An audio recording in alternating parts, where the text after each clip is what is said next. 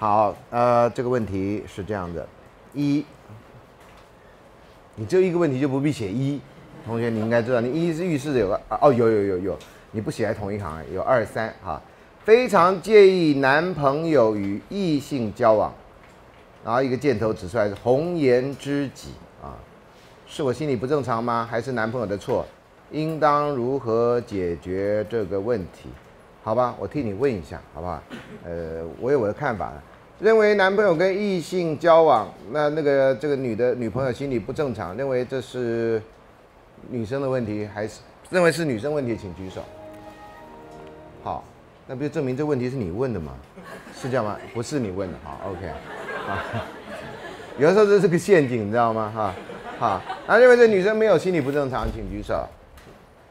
啊，多一点哈，不是所有，好放下，谢谢。不，你要让同学知道，你知道吗？我到底是正常不正常？那与其孙老师讲，对不对？我讲我一个人讲，我这个人有时候很特别的。我认为不正常的可能就是正常，我认为正常可能就是不正常。所以我有时候自己也很困扰。所以呃，让你们投一个票，你可以看到啊，不管你是谁问这个问题啊，如果你在场最好。所以这不是男朋友的错吗？人家红颜知己嘛啊。当然这也是上次讲的呃见色忘友的问题。如果你的红颜知己哪一天忽然间跟你男朋友越走越近，那这就不是你的问题了，这就更加不是你的问题了哈。你要防止你的男朋友跟别人在一起这件事情，在这个时代很困难，因为他一定会跟别人在参加社团或干嘛。如果你一定要盯着他，一定要他在哪儿你就在哪儿，那你会非常辛苦，你的生命基本上绕着他转，除非你是月球，他是地球，不然没有必要做这件事情。你懂我意思啊？啊？啊，月球还有阴暗面呢，你更不要做这件事情啊！所以这个比喻有时候我自己讲到我都不知道我在讲什么了啊。好，第二，男朋友不过纪念日，不送礼物，是男友不在乎这形式，还是他不够用心？认为男朋友不够用心的同学请举手。不过纪念日不送礼物，你们没讲你们认识多久哈？呃，只有一个人，两个人会举手，对啊，三个好，四个好，有两个男生，两个哈。认为你们手举高一点，好吧？你不要行衣服那种，哎，waiter 啊，你 waiter 也都是这样叫的，计程车也是这样叫，你怎么叫计程车，你就怎么叫，怎么举手，好吧？啊，有人是这样，啊，啊，认为不是他不够用心的，请举手。对，哎，对，就是这样，好，谢谢。啊，有人叫计程车这样叫的，啊啊，好，呃，我我觉得看情况了哈，他是不是用心你都不知道，这个你还蛮危险的。不过纪念日这不算什么嘛，有些纪念日不是你只要认识很久了，你过纪念日就是增加困扰嘛。好，你假如第一年就不过纪念日，这有一点点奇怪。还有你的纪念日是什么？你知道我有学生的纪念日是以 week 来来纪念的，我们认识了三个礼拜。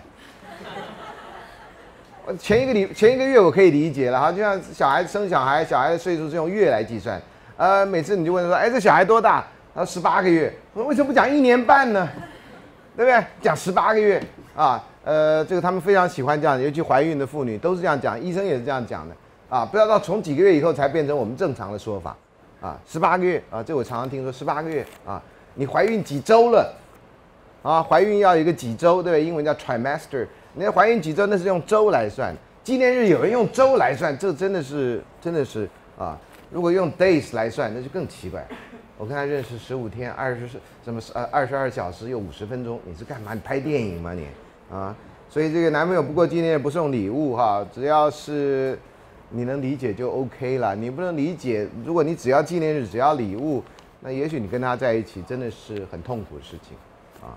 呃，不过我个人觉得还好，但是你的就是还要看别的啊。如果他别的行为有，那没有这个 OK。别的行为没有，这个也没有，那你最好重新开始，另起炉灶，叫做啊，好。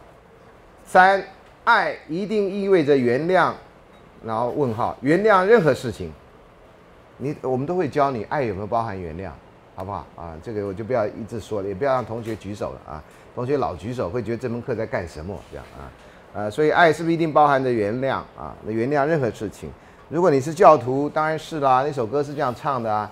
爱是恒久忍耐，也有恩慈；爱是不嫉妒，爱是什么什么什么什么，对不对？然后就那那句话应该不是四放诸四海皆准了哈。大部分情况是，但是不也不能一个人老让另外一个人原谅，懂吗？原谅就要彼此，好，我原谅你一次，那下次你原谅我，OK？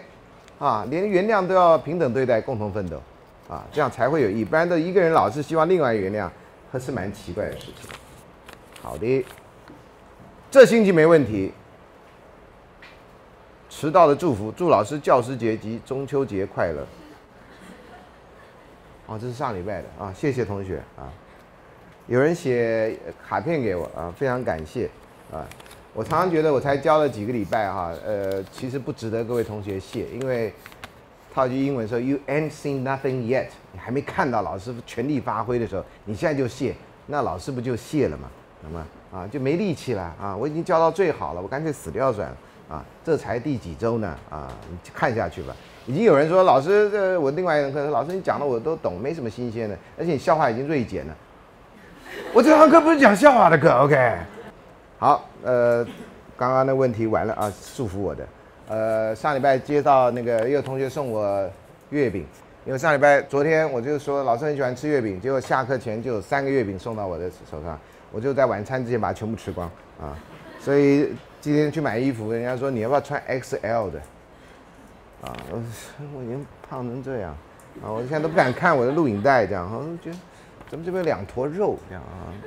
好吧，我已经有男朋友了，呃，这要算恭喜你吗？如果单独跟另外一个男生出去吃饭，是不应该吗？好，我们来问一下，嗯，看看大家的民意调查。他已经有男朋友，如果单独跟另外男生出去吃饭，是不应该？认为不应该，请举手。我们不要问说什么假定什么状况。认为不应该，请举手；认为应该的，请举手。好，所以你看到哈，呃，很多人认为不算什么啦，啊，当然这里面要有前提或什么啦，哈，呃，所以这样算解答你的问题吗？是同学在解答啊，呃，为什么有男朋友就不能跟另外一个男性的朋友出去呢？那我为什么觉得不应该呢？啊，我。请分享一个你觉得最棒的幸福的爱情故事，这是我的作业吧？你怎么变成我的作业？我要叫你们做的事情。哎，你们这一学礼拜要交一个作业，对不对啊？等一下下课交到前面来。呃，分享最棒幸福爱情故事，反正老师会讲很多故事哈。呃，我而且我这个老师有一个痛，有一个困难点，我很难区分最棒这件事情。啊，老师，你最喜欢的电影名是谁？呃，我有一坨拉苦这样。那我第一个想到，并表示他就是我最喜欢，他就是我第一个想到。呃，老师，你最喜欢的爱情电影是什么？呃，我我真的有这种罪的这种困扰。我是这种博爱的星座，什么事情对我来讲都有它的特色。就像每一个同学啊，认识不认识每一个同学，你都是在我心中有特别地位的人。你要说老师，你上这门课你最喜欢谁？这个我没办法回答，我没办法回答。啊，哎，我心中没有这种尺，就我最喜欢谁这件事情没有。啊，最喜欢谁？只有跟我老婆有点关系。我当然是最爱我老婆。这录影一定要，老婆我最爱你，对不对？啊，顺便讲一下，我相信我太太要是真的有机会看到这一段，我一定知道她在那边讲讲什么这样啊。为什么一直找不到喜欢的人？哎呀，这问题就大了。这问题真的很大。呃，可以拿一个前面的研究啊，学生的同学的研究。这问题不是你的问题而已。从我第一年教书，同学就有这个问题，特别女生有这个问题。啊，我不知道为什么，男生应该也有了哈，但是女生的这个问题。结果那一组的人呢，就去研究台大有多少人，这我讲过没？台大有多少人谈恋爱没谈过恋爱？大四毕业前讲过了嘛哈。那他们的困扰就是发现，这我也讲过，我重复一遍，万一你第一次没来，他们发现的结果就是说，如果你是定点移动，家里图书馆啊，公车站，家里图书馆，公车站，捷运站这种哈，那大概你会交到朋友的机会非常少。第二个呢，就是假如你讲电话都是那种很简单的话，这样哈，那个你会认识人机会也非常少。你是那种不会哈拉的人，不会借题引申的人，你就也很少这样，啊，所以这是我两个特别记得的啊。如果你害羞内向，都还可能交到人呢。有人是那种会放电的人，啊，特别是他们有人相信某一个星座的人是特别会放电，啊，我也碰过这样的人。我从来不相信星座哈，我觉得星座都是骗人的啊，或者星座是个不完全的那个，然后靠着你对号入座来造成星座很准的这件现实。那那个同学呢啊，就双鱼座的，这样讲可以了吧？这不卡掉对不对？双鱼座的女孩子，她说她很会放电，然后她完全不承认，她老师太不公平了。那我跟你一样，我不相信星座。我说为什么？她说我双鱼座的，人家都说我很会放电。我说那你为什么不相信？她说我没有啊啊！才讲完不久，我说好，那我们今天聊什么？他老师，为什么我常常写一个在网上 po 一篇文章就会惹来一堆人？我说你 po 文章不就是要惹来一堆人吗？你这不就 po 文章的目的吗？你如果不想惹来一堆人，你就不要 po 文章，不会有人那个的，对不对？老师从来不 po 文章，怎么会惹来一堆人？我现在还有这个 Facebook 粉丝页呢，啊，也没惹来一堆人呢，啊，所以好，我说那到底 po 了什么文章？我看一下，他就给我一看，我靠，就是类似这样的哈，不是刚好是这些字眼哈，他意思说，哎呀，今天晚上下雨，让我的心绪极度无聊，我就想起了他以前的事情，想了好多好朋友。然后觉得现在都不在身边，我觉得好寂寞。你觉得寂寞，人家当然来说，哎，那那你要什么，我就跟你聊天吧，不要这样子哈，怕你怎怎么样怎么怎么。然后他说，我只是发表，我很寂寞，并没有要跟人家聊天呢。那你就不要发表嘛，你发表不给人别人看吗？这不都可以做到的事情？你发表，人家给你回应，然后你又嫌说这个人好无聊，然后还有人约他出去。啊，你在台北吗？啊，我半个钟头之内我可以在一零一跟你见面什么之类的。啊，在 Love 前面这样啊。他觉得这些男生极度无聊，我说你才无聊，对吧？无聊人引出无聊鬼，这样啊。对，这这句话蛮好，无聊人引出无聊鬼。我们可不可以在最后有说本节俊俊语这样哈，就是把我那在这堂课讲的有些很高深的话都把它变成那样啊。所以会放电有时候就是这样子啊。那这个有时候是你一个愿打一个愿挨的，你就会吸引一些那样子的人。但是同样看你网页的人，有的人不会对你有什么特别回应，啊，有的人害羞，有人觉得不应该那样，啊，所以有时候人跟人之间这种 interpersonal attraction，人际之间相互吸引，是一个有时候看起来非常神秘的事情，啊，有时候又完全不神秘。所以我们会在后面的课慢慢讲到，啊，好，有男生和女生有比一般朋友还亲密的关系，例如男生从女生背后拥抱。哦，好，我我还有一个画面，懂吗？啊，or 脸贴脸拍照，啊，却不是男女朋友，请问老师这样关系是否正常？来，我先问你们一下，这样关系认为正常的，请举手。好，好，所以都可以跟你们脸贴脸拍照，是吧？认为不正常的，请举手。好，就是不能跟这些人脸贴脸拍照。好，放下，谢谢。好，认为不正常多一点。我个人觉得。如果两个人很熟，OK 啦。如果不熟，这就是性骚扰了。尤其从背后抱着人家这点，呃，多年前很多年了，有一个老师觉得跟老跟同学很接近，研究所学生，他觉得跟他们很好，常常请他们到家里吃饭，然后干什么干什么的这样的话。有一天，这女学生就告这个老师，这老师觉得非常困惑，告他什么呢？说这个老师有一次下课就在众人面前从背后拥抱他。就这样，呃，把他抱起来，这样哈，不是摸啊，就呃，就从后面抱起来，然后他觉得极度受辱。老师觉得，我跟你很好啊，你也在我们家住过，我太太你也认识，都同学的活动，而且那是一群同学，就我觉得好到可以跟你有这样的关系，像朋友啊。老师的立场是这样，同学觉得很不舒服。那那时候同学没有直接跟老师讲，啊，就告到这个女性团体去。那早些女性团体都觉得有些狼师啊，一定要把人全部揪出来。就揪到这个老师，其实还不算是狼师的人。你要真揪到那种十恶不赦之人，那还算了。你揪到一个有时候不小心踩到红线的人，啊，这个老师极度失望啊。这件事情后来在报上闹了几天，然后老师觉得很冤枉啊，那觉得很冤枉。后来好像对学生就意兴阑珊，啊，之后怎么样我不知道啊。这个故事这样，所以背后拥抱，如果当事人觉得不舒服啊，那你就不应该做这事情。不过你不舒服，你最好马上跟他讲，哎，你不要这样，我不喜欢这样。你这样讲，人家会知道你不舒服。那那个人如果马上跟你道歉，你至少可以看出他的诚意，他不是有意的。如果那人不跟你道歉，说那这是什么？你别那么小心眼，那这个人你可以告告他，啊，所以这态度不同啊，所以我我觉得不可一概而论。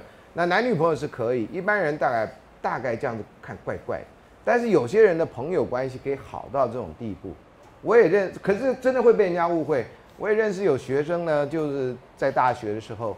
会跟男同学牵着手在校园散步，然后譬如走到司令台了，两个人，那那女生会睡在那男的的膝盖上。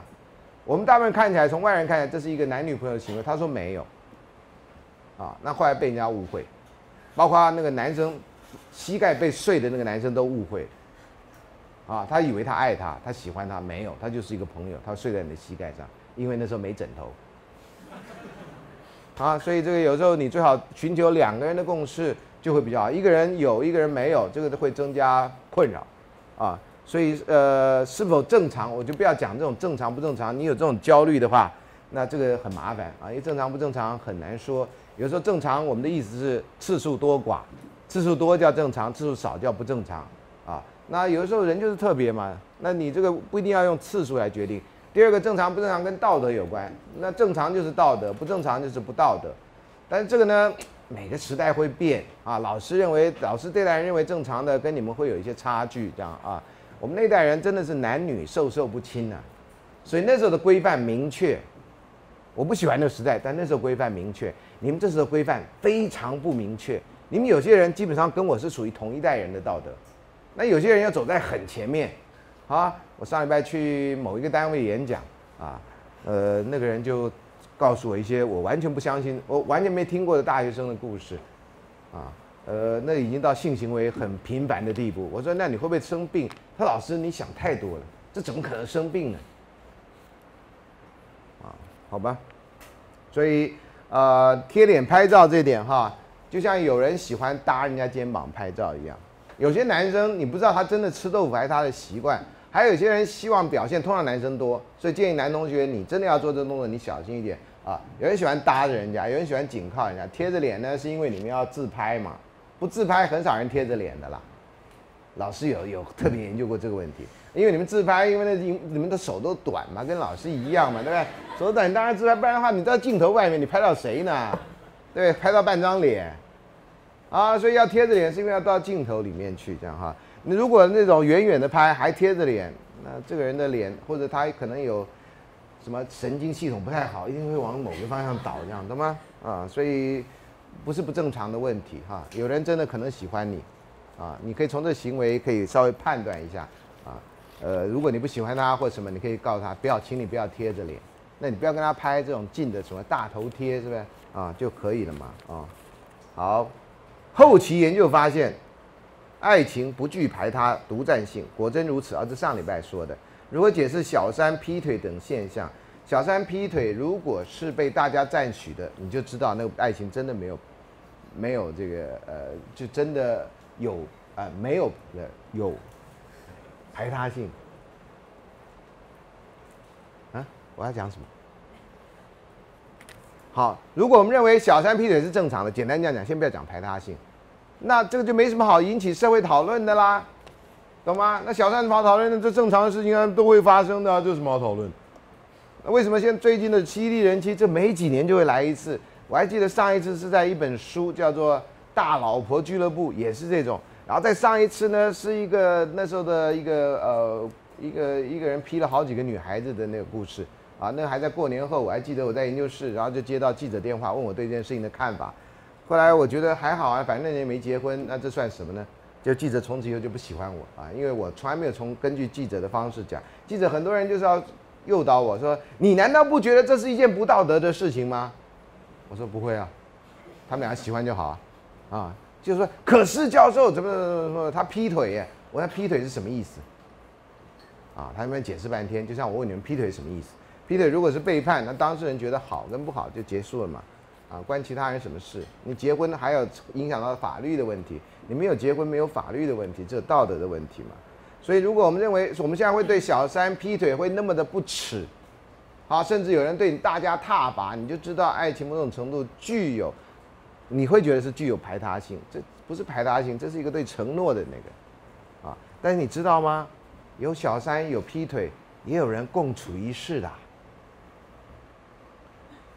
新闻上三不五时会有啊，哦，那这个新闻上有脏话，有一个人啊，姓刘的，就不讲名字，免得这样被卡掉啊。彰化有一个，我记得名字啊。如果你要知道，我可以告诉你名字，你上网去查。他呢，他说因为神明的关系，他有特殊的宗教信仰，神明交代他一定要跟这些女的要在一起，他帮助这些人女的，那这些女的也被他说服要在一起。所以呢，他有多少老婆呢？好像快接近十个，在全省各地，你知道吗？就像开分店一样。然后他的老婆呢，都在开素食餐厅，好。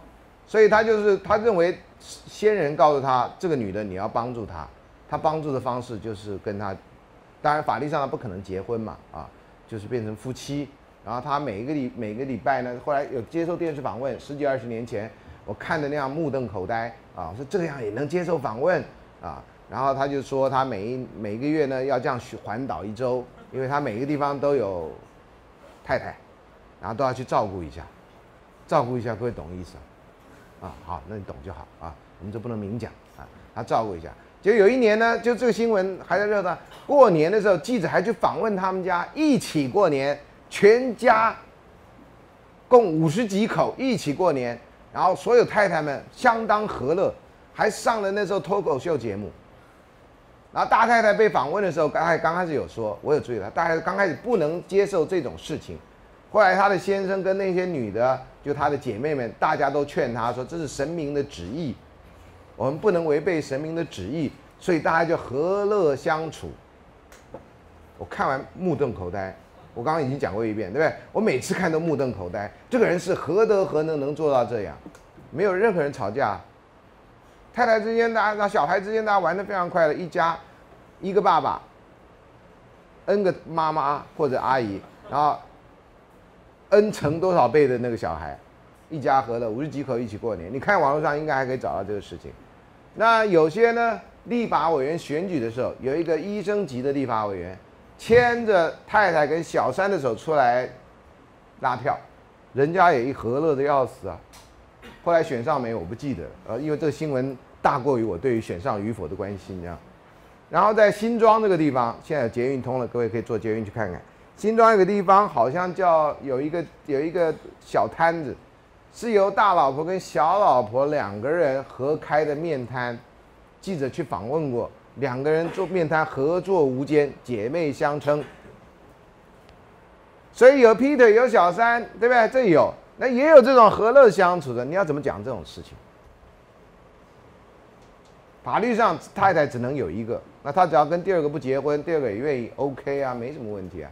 我们当然不赞成你这样做啊，对不对？但是有人这样做啊，啊，所以你说要这个来证明，呃，独占性或与否啊？啊，另外的有些爱情不是只有讲男女之间啊，像妈妈、爸爸、双亲之间对小孩啊，有的时候小孩会被考验，说弟弟啊，你到底喜欢爸爸多还是喜欢妈妈多，对不对？或妹妹。这个如果在过年给压岁钱期间，所有聪明的小孩或具有基基本智力的小孩。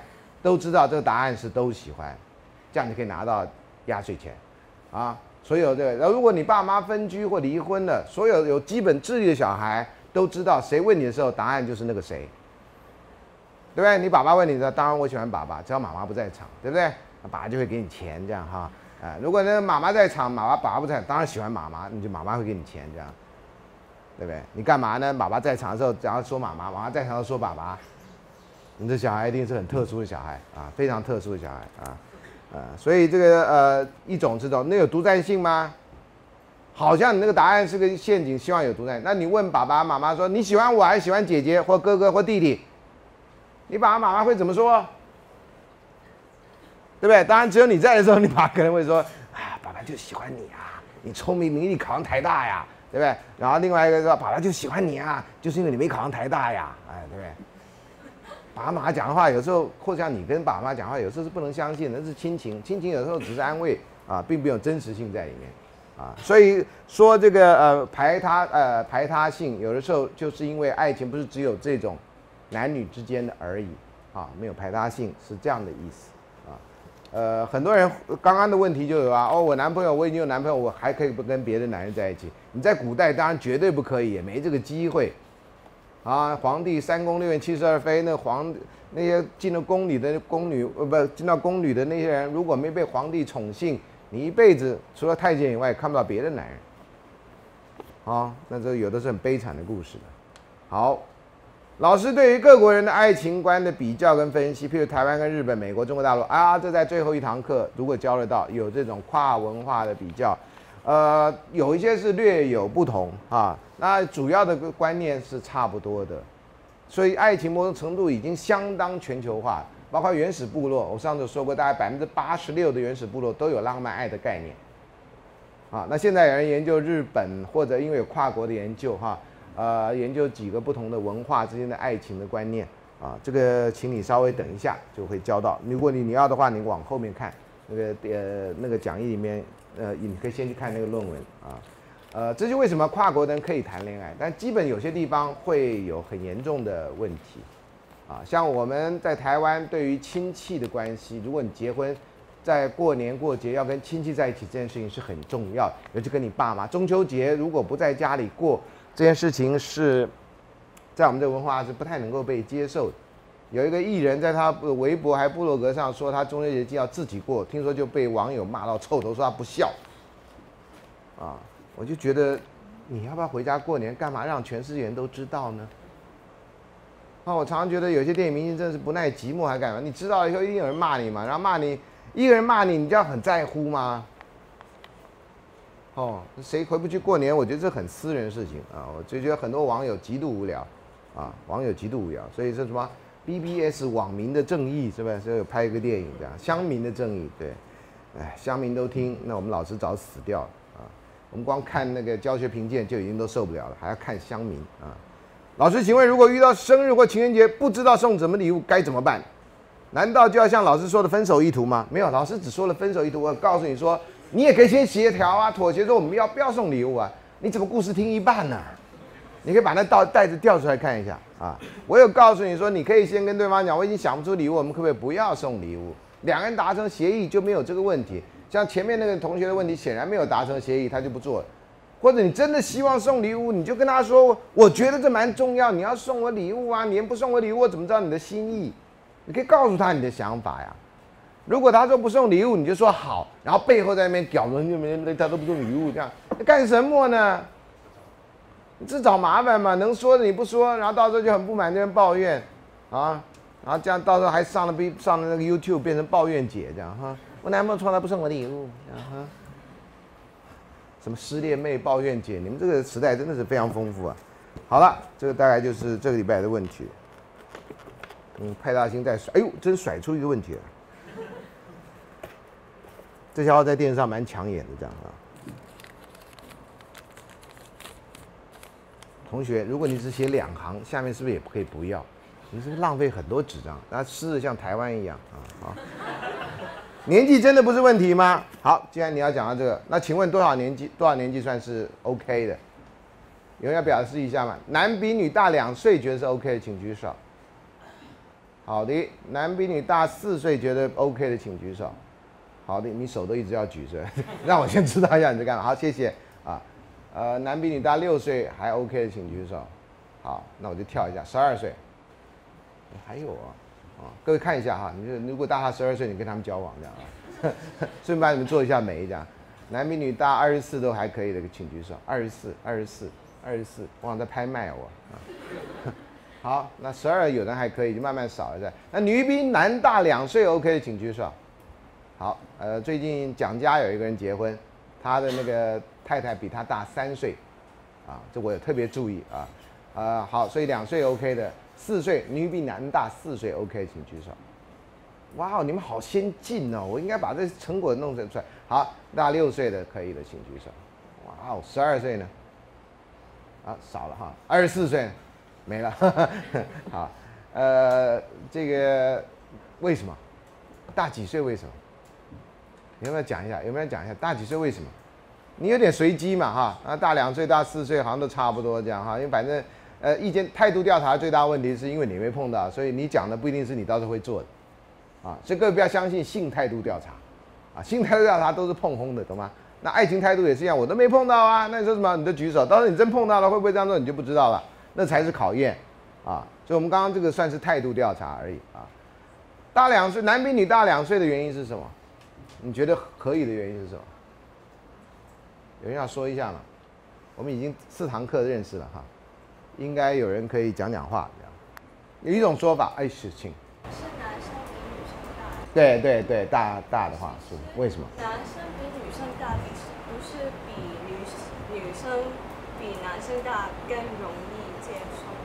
更容易接受，可刚刚看起来 OK 啊，啊，看起来都没有太明显差别。嗯。刚刚女生二、二十四就比较小。对，就比较少。对，所以有个 range 大家可以接受嘛，在你们这一代人，对不对？在这班啊，不，我说为什么呢？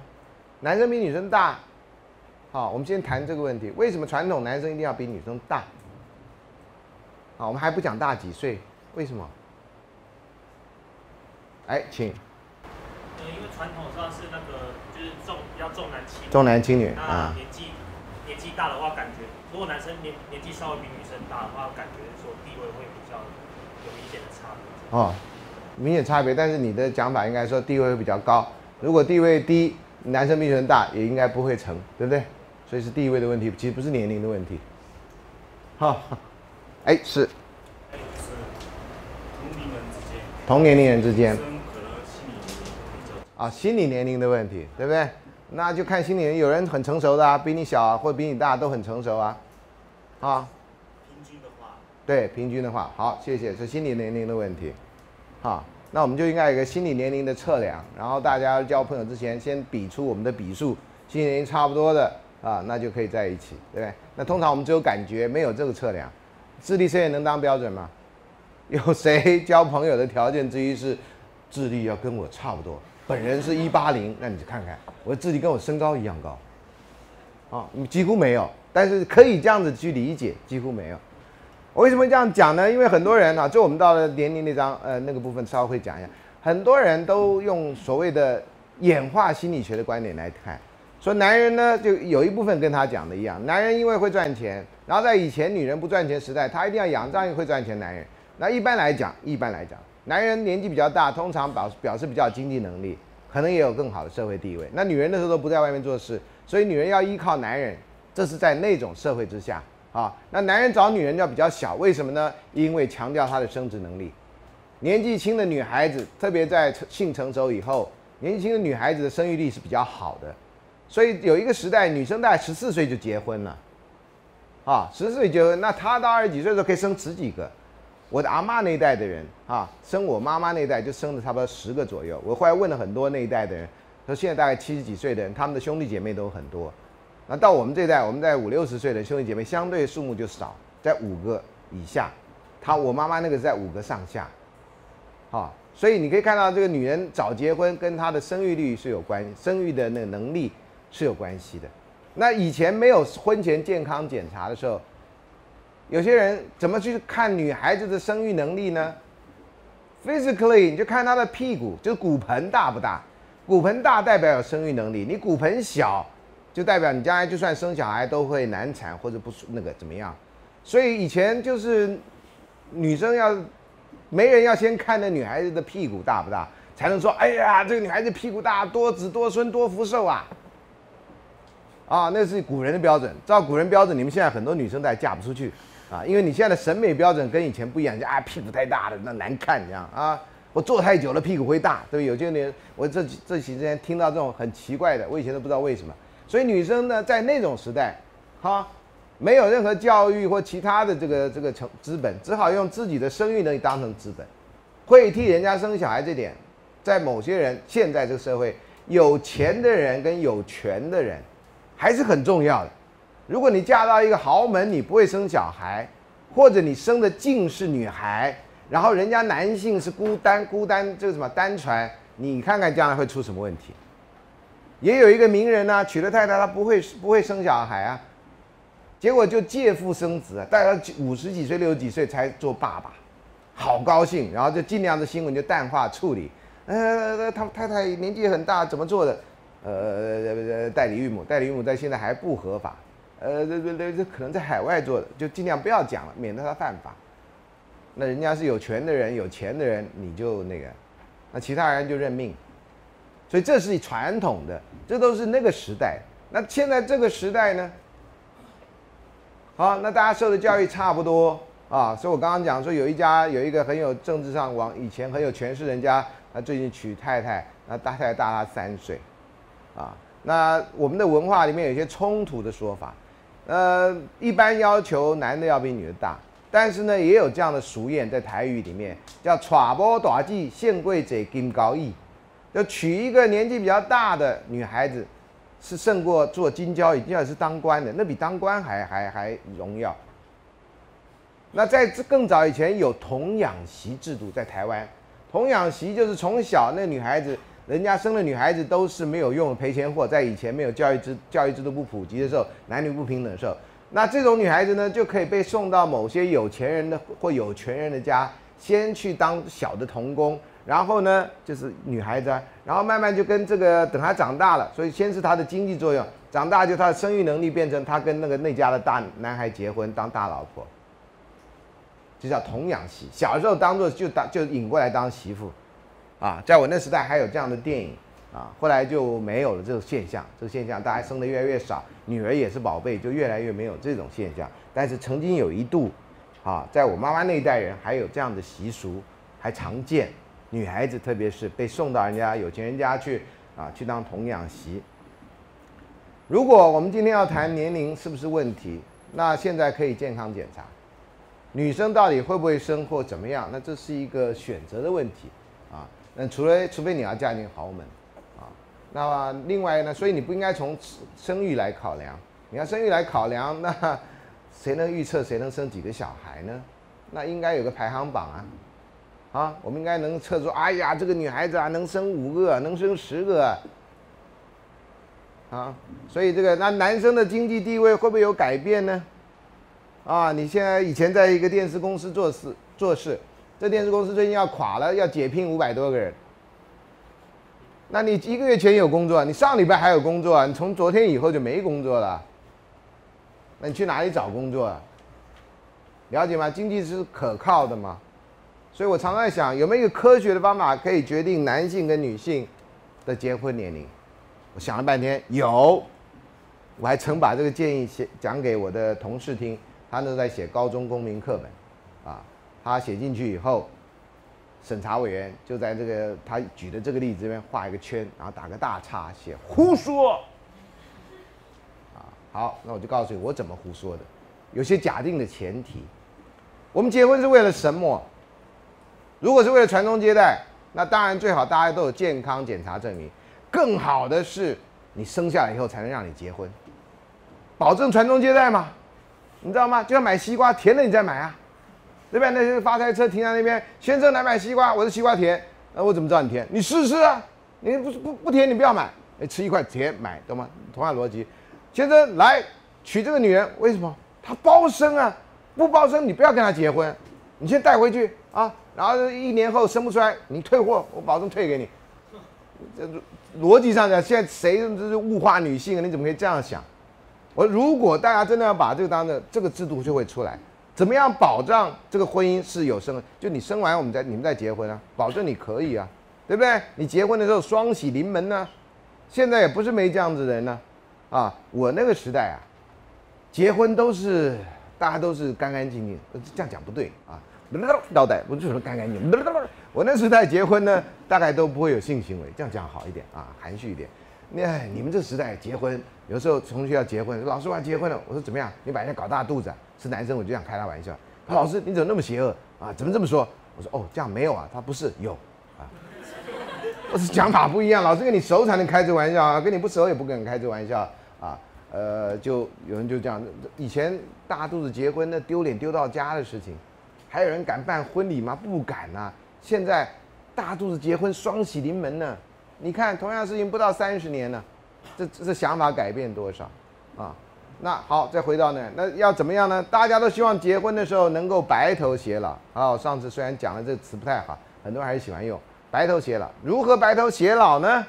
白头偕老呢？我们现在的科学方法可以算到怎么样在同一年死掉，自然死亡，不是人工的啊。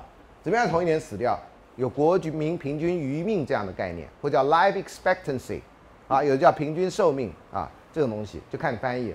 就是呢，我们一般来讲，在台湾出生的人，每个国家都有这个资料哈，联合国也有这个各文各地的资料。那每一个就是他在出生的人，他的那个性别，因为性别不同，他的生平均余命是不一样。简单来讲哈，这会略有变化。台湾的女性，女性通常比男性，台湾女性平均活到八十岁。我们为了计算方便，那男性通常活到七十五岁，大概有五岁的差别啊，所以同一年出生的女性会活得比较久。那你为了保障两个人在同一年死掉呢，对不对？是相差五岁嘛，对不对？啊，男比你大五岁，那你要在保证同一年死掉呢，女生就比男生大五岁，对不对？啊，你这个 n 呢，女男女比大的比率，这就 n 等于负五，这样你会零年，你就会同一年死掉。所以呢，你现在大一，你就要找研二的，大一的男生要找研二的学姐，研二学姐要找，不是呃研二学姐要大一男生，那大一女生要找谁呢？国二的。照我这个逻辑，你现在听起来很夸张啊！在大学，在学校制度，因为有一年级、二年级，到了社会，谁知道你几岁啊？到社会差一岁、差两岁、差五岁都不算什么，看不出来啊！尤其你们现在女人还保养到那个地步，三十几岁看起来像二十几，四十几看起来像二十几，五十几看起来像二十几，所有女生到二十五岁自动冻龄，啊，男生就不一定了哈。所以呢，如果照现行办法，男生都比女生大，所以女生的平均守寡年龄就是五加 n 呢。如果 n 等于二，我们刚刚讲对不对？那你跟一个大你两岁的女生跟一个大你两岁男生结婚，那你就要守寡七年啊。比你大两岁啊，他在七十岁就死了。他七十五岁的时候你几岁啊？大两岁，所以你七十三岁嘛，那你还活到八八十岁才会死嘛？那不是七年守寡嘛？如果你们俩很恩爱，七年守寡，你受得了吗？如果你们俩不恩爱，那七年是你最快乐的七年，因为那死老猴已经死了，懂吗？如果你不快乐啊，如果快乐，这就是很悲伤的事情啊。啊，所以五加 n 呢？那 n 如果是负的，就是大五岁啊，这是最合逻辑的说法呀。可是被斥为胡说。啊，我就告诉你，这个年龄真的很重要吗？如果我们从这个会在同一年死掉这件事情来看。那这是唯一的科学的办法呀！你这差两岁、差四岁、差五岁、差几岁，那都没差呀。你差的就是你的平均守寡年龄啊。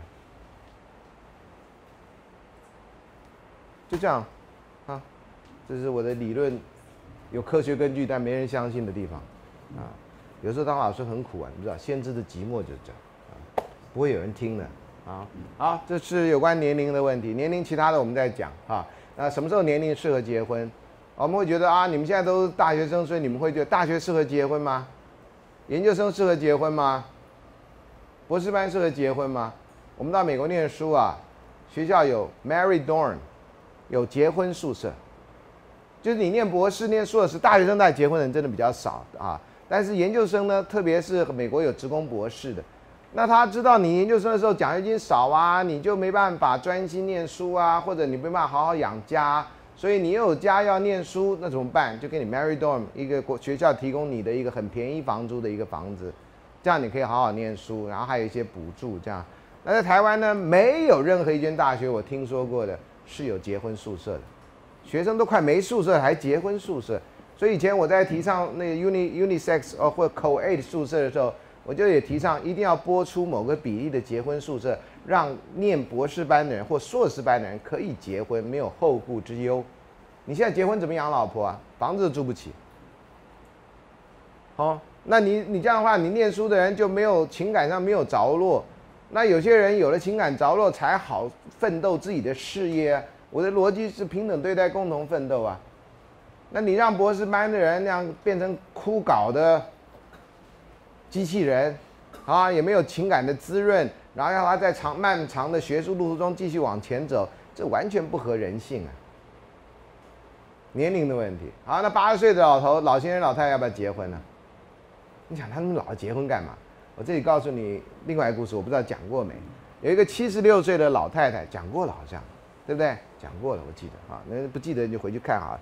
这也是年龄的问题，好像某个年龄以上，好像结婚就结不结婚就不重要。好，所以我们现在是以这种青年人当标准的话，好像大家就不认为这个问题很重要。如果拉长来看，这问题有时候是不太有意义的。啊，重要不重要，看你怎么想。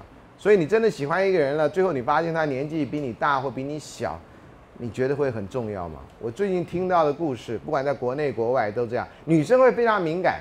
我碰到那种三十岁以后的女生，特别三十五岁以后的女生，对自己的年龄都觉得敏感到不行。但是大部分人都保养得宜，所以看起来其实像二十八、二十九。那男生有的不知道啊，啊，看你在这个也比较成熟，讲话什么都比较有意思，人家就想跟你来往。然后那些女生呢，通常在人家有意思的时候，就会先打出年龄牌，说我先告诉你哦，我已经三十多少了这样。然后男的通常会愣住，然后女生就觉得，哼，他在乎年龄，然后他就走。我说你走那么快干什么嘛？有的人 process 时间会慢一点，你知道吗？啊，正在处理资料中，请稍后，懂吗？那你就稍后吗？你希望人家一讲出来，然后他就马上就有反应，这也太强人所难嘛，懂吗？他好歹要辨识一下你这个资讯是真的假的啦，你的芯片金融卡是真的什么？就像机器都要花时间，何况人呢？啊，很多人就走了，觉得说你稍一迟疑就表示你在乎我的年龄，我觉得是不是？是你在乎你的年龄。啊，碰到很多人最后的都是好故事，和男人说没关系。通常在几个钟头以后或者几天以后，说我觉得我还是喜欢你，这年龄不重要。有的男的会特别注意你会不会生，那跟年龄也没有任何关系。有的所谓的适婚年龄一样不会生啊，会不会生可以做检查健康检查的，好，会不会生可以做健康检查的啊。好，那这个是年龄的问题，我就稍微多讲了一点，因为我们到时候也会提到。那接下来我们就回到上礼拜的讲的那六种颜色爱的颜色理论。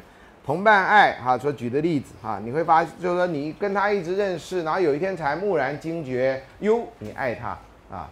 蓦然回首，那人却在灯火阑珊处啊，永远陪着你的。有不少电影跟故事都是讲这个的啊。你发现最后、最后、最后陪伴你那个人，其实才是真正爱你的，也是你真正爱他的人啊。在某个阶段你看不出来啊，你看不出来。啊第十六个问题说，除非我开始关心过一阵子以后，我才能够爱啊，所以他需要起步的时间比较晚，比较慢一点啊，这个是大部分人是这样的啊。那十七个说，我仍然和我谈过恋爱的所有人都保持很好的友谊啊，呃，谈过恋爱还能保持友谊呢，这是代表你们两个的 I E Q 都很高，就算两个人不能在一起了，也会说得很清楚啊，那那样的话，通常不会有遗憾，特别不会有欺骗。啊，你是怎么样不能跟他在一起？这个讲得很清楚，这样啊。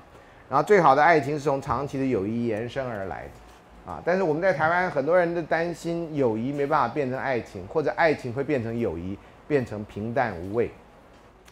最常见的问题之一，我先把这讲完，就是老师，我跟他在一起已经像亲情了，该怎么办？亲情有什么不好？老师，我在一起已经没情了，这问题比较大。这问题也很简单，你看在一起变亲情了，那亲情我们假定是好的亲情，是那种亲人之间有来往那种亲情，那有什么不好呢？就是淡淡的，像一杯白水啊，没有什么特别的滋味，但是就是会在那里，然后能解你的渴。我就不知道为什么大家对于亲情这件事情，好像觉得，呃，我跟他都没有什么的，好像就是一个该弃绝的东西。我觉得你到最高境界就是这种东西啊，就是这种东西，然后你已经到最高境界，你就哈。啊，原来就这样，那我不要。你到底期待爱情是什么？每天那样很嗨、很嗨、很嗨，你活不过几岁的。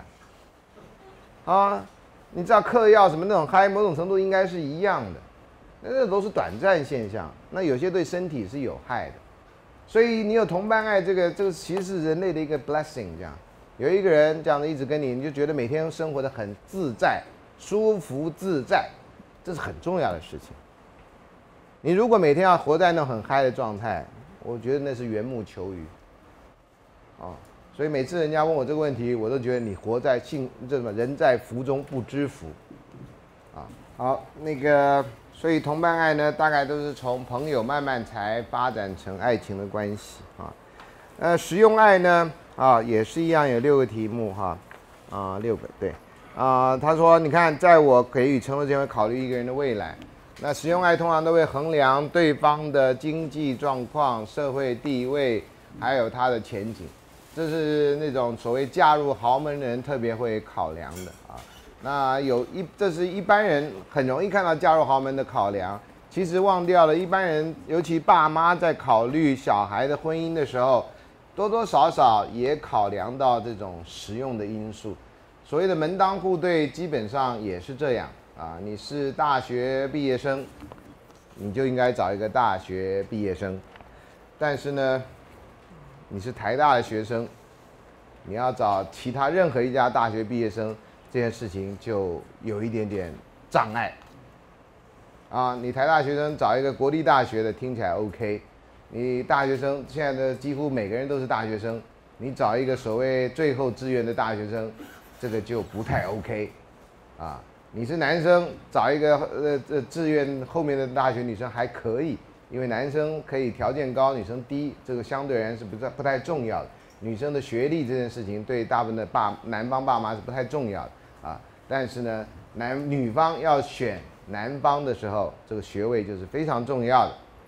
同样两个大学生，如果其他条件均等，一个是台大的，一个是非台大的，非台大除非你是哈佛的这种啊，要不然的话你是台湾的其他大学生，大部分人大概没有什么理由认为他可以不挑台大学生，除非台大学生的个性什么什么什么之类的。啊，那你看到这是都是实用爱，那要挑有房子的，挑有车子的，挑有固定工作的啊。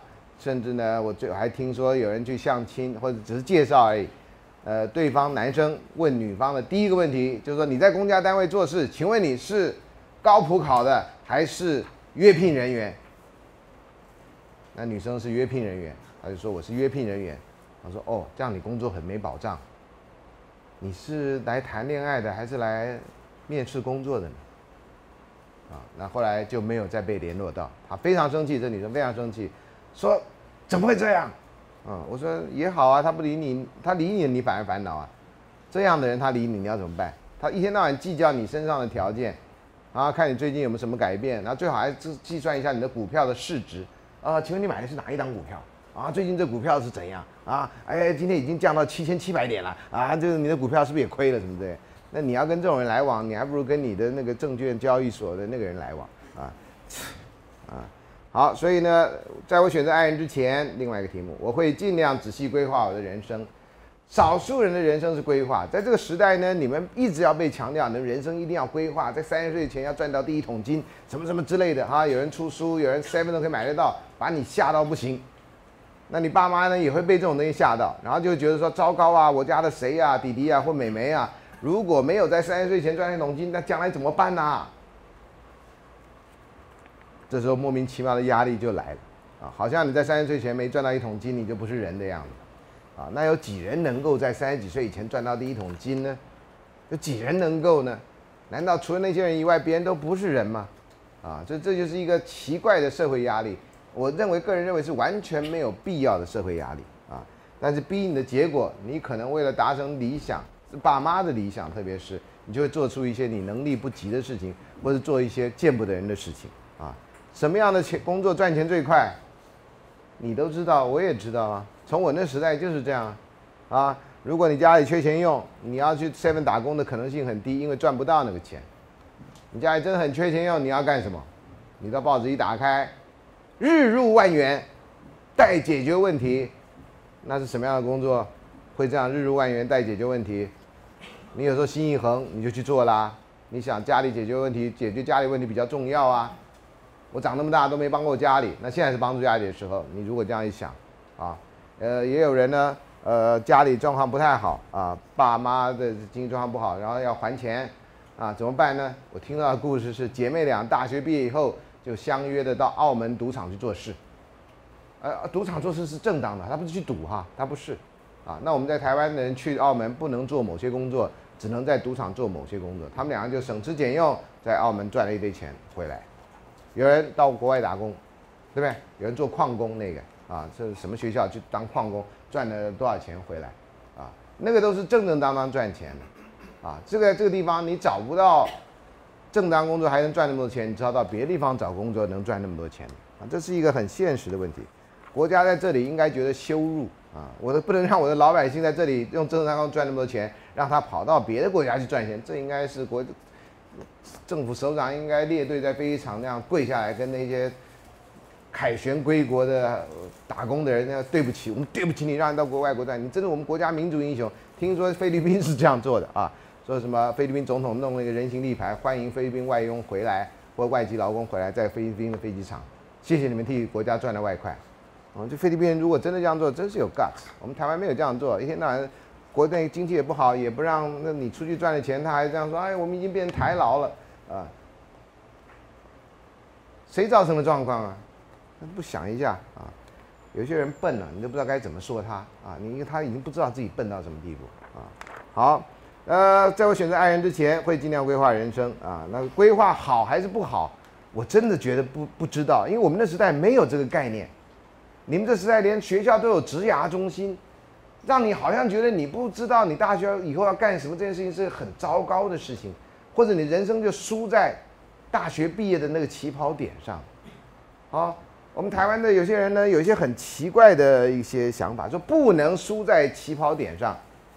好，那这个的假定，如果我们玩下去，那你知道那跑这个有多长呢？这是一场马拉松，还是这一场一百公尺？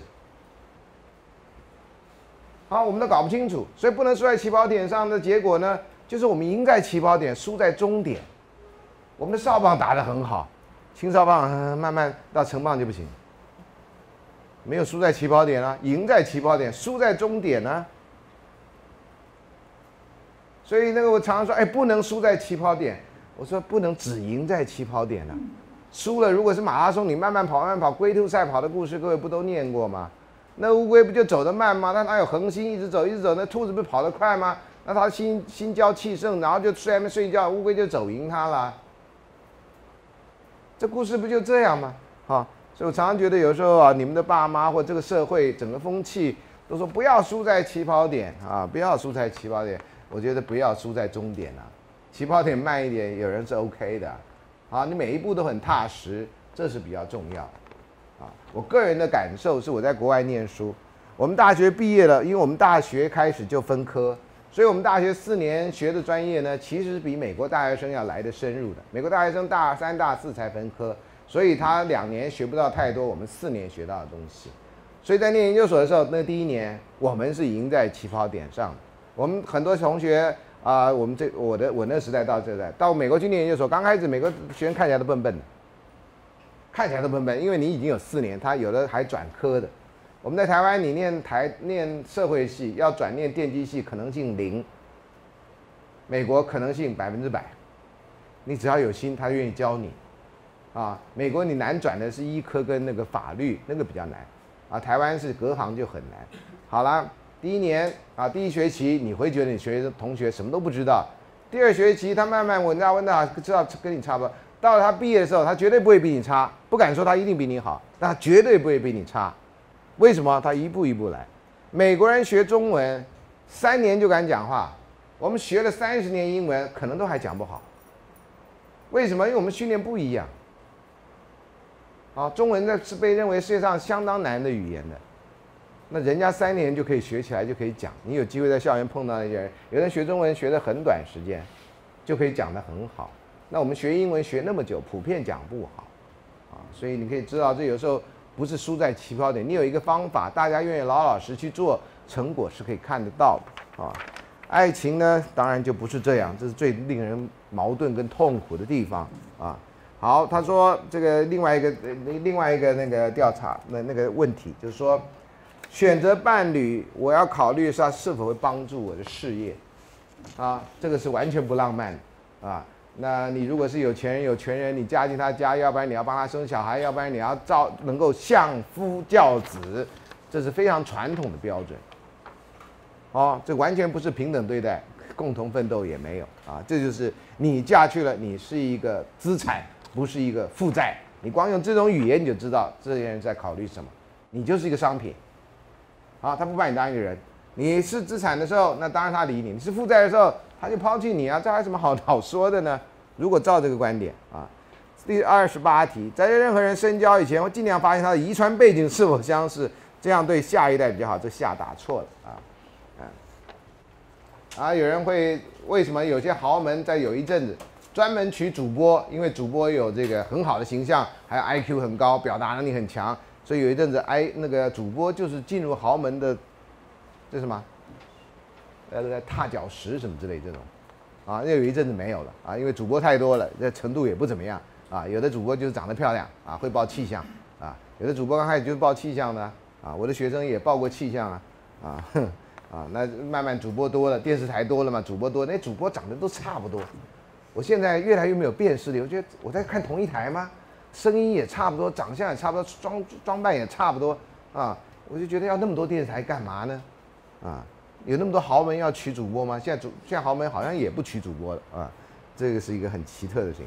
疯狂爱就是我们在电视上或者在电影里面或者在小说里面看到那种爱的死去活来那种啊，这都不是好榜样了哈。当我的爱人跟我不愉快的时候，我的胃会不舒服。天哪，你最好嫁个胃那那内科医生啊，胃不舒服可以吃什么什么什么胃药这样啊。当我失恋的时候，我很沮丧，甚至想要自杀。你看极端吧，你爱他的时候他上天堂，你不爱他的时候他马上下地狱给你看。啊，你是奥菲斯，你去救他都救不回来啊。有时候我因为恋爱兴奋到睡不着，哎呦，这个也太夸张了吧？啊，谈恋爱也睡不着，失恋也睡不着，干脆别睡。对不对？那这个人再撑不了太久吧。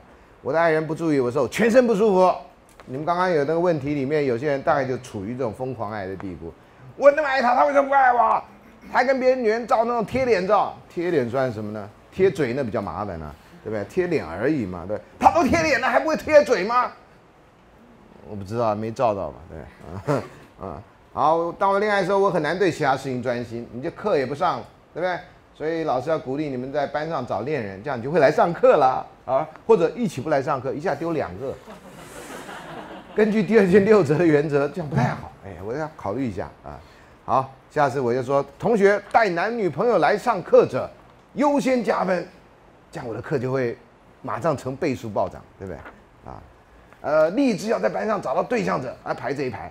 啊，然后就是说，那你们两两赶快谈谈完，然后加签前能够变成男女朋友，优先加签，马上五分钟促成一对 speed dating，知道吗？我可以变成世界专利的，开玩笑哈。那你怎么做到？我就加签，让他们站同一排，啊，然后告诉他们五分钟后，我就决定要不要加签你们啊，speed dating，我可能会变成诺贝尔的技术呃金金氏纪录保持人啊，当然也是分手最快的纪录保持人，大家加签到以后马上就分手，这样啊，会造成一堆 fake 恋人啊。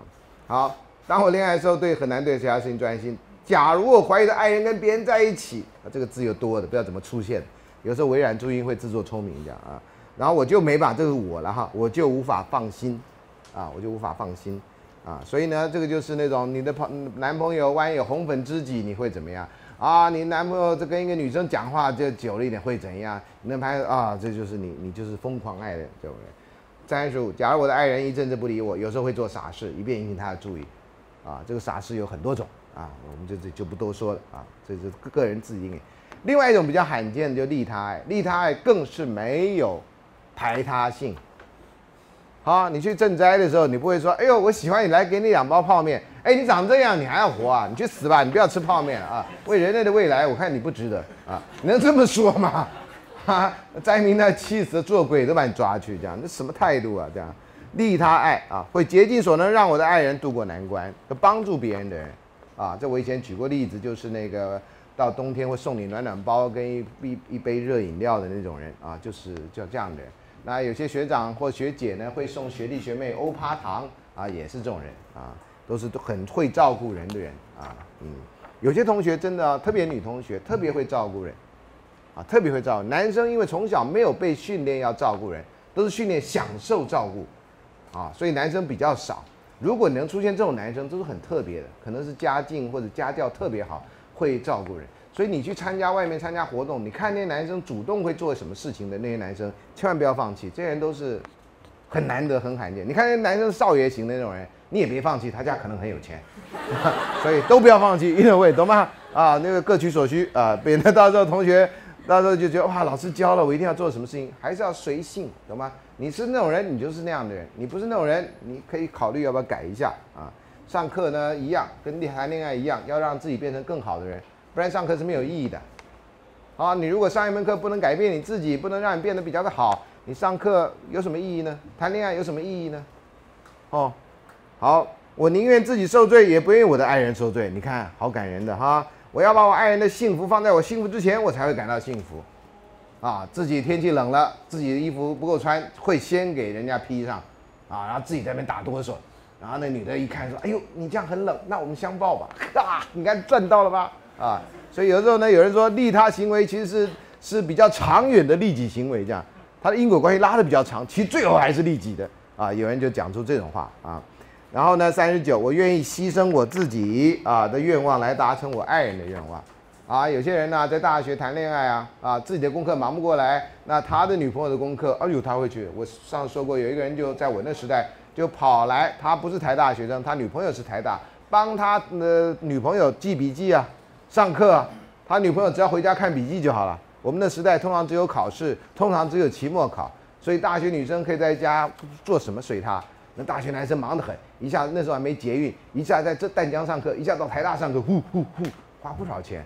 啊，他跟我讲的时候还觉得愤愤不平啊，可是那时候也是你愿意的啊。那有些人会觉得这是利他爱，那我说了，有些人觉得这是拉长因果关系的利己爱，其实到最后还是要对你自己好啊。好，我所用的东西，我爱人都可以尽情使用啊。那当然你的东西要有好处啊，譬如你有 iPad 那可以啦，你有一台那种不知道叫 i 什么东东西，或者 i i 叫，对不对？弄了什么都不能弄，那你你给人家用有什么用呢？懂吗？你有好东西给人家用是有道理，你的东西不怎么样给人家用。这不是好事啊！啊，这不是要利利他爱。当我的爱人生我气的时候，我还会完全无条件爱他。这真的蛮困难的啊！我们大部分人就觉得你生我气干什么？你什么东西啊你？啊，就你生气啊，我不能生气啊，你知道吗？就会这种非常粗浅的平等对待啊，这是粗浅的平等对待啊，也不能说不是了啊。好，四十二问题，我会为了爱人忍受一切。好，那这个真的是比较像这种爱，我刚刚说过是没有排他性。啊，这种爱比较接近那种长辈对晚辈的，特别是你爸妈对你的爱，或者有人会说信宗教，会说这是神或上帝对人的爱是无条件啊。那看你看哪一段经典了哈，有的经典是这样，那有的经典不是的啊。好，这是有关爱的颜色理论的六种，那怎么样去在现实生活中去发现自己大概比较倾向于哪一种啊？这只能让你找到你恋爱的分类，有没有太大意义呢？你自己想一下。另外一个非常非常非常非常非常非常非常有名的啊，叫爱情的三角形理论，或者简称三角理论。但这不是谈三角恋爱的啊，triangular theory，因为它有三个要素。他认为呢，哪三个要素呢？呃，一个叫 intimacy，一个叫 passion，一个叫 commitment，短期的叫 decision。通常后来 commitment 呃 decision 会被删掉，就就变成 p i c 这三个要素啊。那这三个要素构成一个三角形。那因为呢，你这三个要素强调点不同，那三角形会成不同的形状，啊，这是概念上面是这样。那 intimacy 是什么呢？intimacy 呢，主要的是强调情感的部分，啊，就是爱情关系中亲近感。有些事情你觉得跟他在一起，跟他讲话，啊，你会觉得特别特别亲密，你还特别喜欢跟他讲话。有什么事情优先跟他分享，啊，呃，尤其感情上的事情，你的喜怒哀乐呢，你都希望跟他分享，啊。然后你希望跟他有一体感啊，你觉得他的就是你的，你的就是他的，情感上面啊，所以人家骂他你会很不高兴，人家喜欢他你会觉得与有荣焉，有一点像这个偶像团体、偶像的那粉丝跟偶像之间的关系啊，有一点啊，在这只是光讲这一面啊，那爱情中间呢，这个再一次错了哈，会有一种温暖的感觉啊，谈恋爱的人呢，有在有一个阶段。想起对方都会嘴角不自觉泛起微笑，啊，你写他的名字都觉得幸福到不行，那在别人来看是件很愚蠢的行为，啊，呃，是什么？有一本有个什么日本漫画叫什么《死亡笔记本》是吧？啊，好像也是写人家名字会怎么？然后另外一个电影呢，也是你写不，好像你写一个人的名字，你喜欢他，把那个那一管墨那个圆珠笔写完了，那个人就会喜欢你。是不是在哪个店？蓝色大门里面有这个啊？他就写张世豪，张世豪，张世豪，张世豪，写到后来张世豪也没喜欢他啊，因为他不是第一女主角，这很简单啊。所以电影里面呢，你只要知道谁是第一女主角，你就知道这故事什么结局啊。人生最麻烦的就是你不知道你是第一女主角还是第二女主角，还还第三男主角啊。人生有的时候那个戏你不知道谁是主角啊。好，那这包含几个因素。想要提升被爱者的福利，像前面讲的利他爱，你会为了他做一些事情。想要跟爱者共同体验幸福了哈，你希望你高兴的事情也跟他分享哈，各种方面的。然后呢，然后看重被爱者，你觉得你爱的那个人真的是值得啊？台大要票选模范生就他啦啊！台大票选什么就是他，他真的是杰出到不行的人物啊！你会把对方有点像偶像那样子崇拜。啊，然后呢，在需要的时候可以仰赖被爱被爱者，你会对你爱的人呢，会觉得，哎，我可以依赖他。今天作业做不出来，或者有一个想想不出什么来，可以打电话给他，他会给你 idea，甚至呢，他会帮你做。啊，然后第五呢，跟被爱者相互了解啊，讲话跟他在一起不必多，眼神一看就完全知道你的意思啊，在我那时代叫做很有默契，因为我们大部分人在日常生活不会碰到这种人的，人家都不知道你在干嘛，那人聊你啊，懂吗？啊，这在呃同性之间朋友关系就是那个知己啊，士为知己者死，男人就两肋插刀，他懂我啊，我为他做什么都行啊。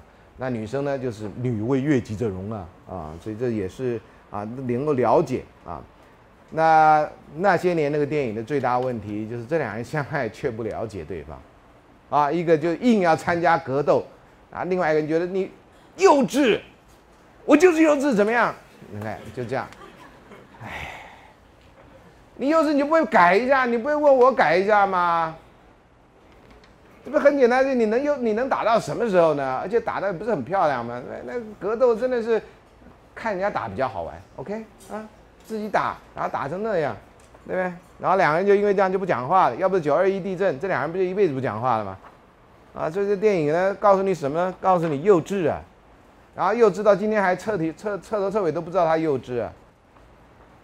然后自己还觉得幼稚是很好的事啊！那你还号称你爱他？你爱他吗？你爱你自己啊！你爱那个恋爱的感觉啊！你爱这个故事啊！因为将来可以写成电影，你可以赚一大票啊！你爱他，我从来不觉得他爱他，幼稚啊，真的幼稚啊！我希望他现在知道为什么，因为那到底是电影、小说还是真实故事，我现在搞不清楚啊！我是把它当成电影来批评啊！如果有人真实生活是这样，我觉得这个人非常不值得啊！他赚尽了全天下，却不知道自己为什么失掉爱情。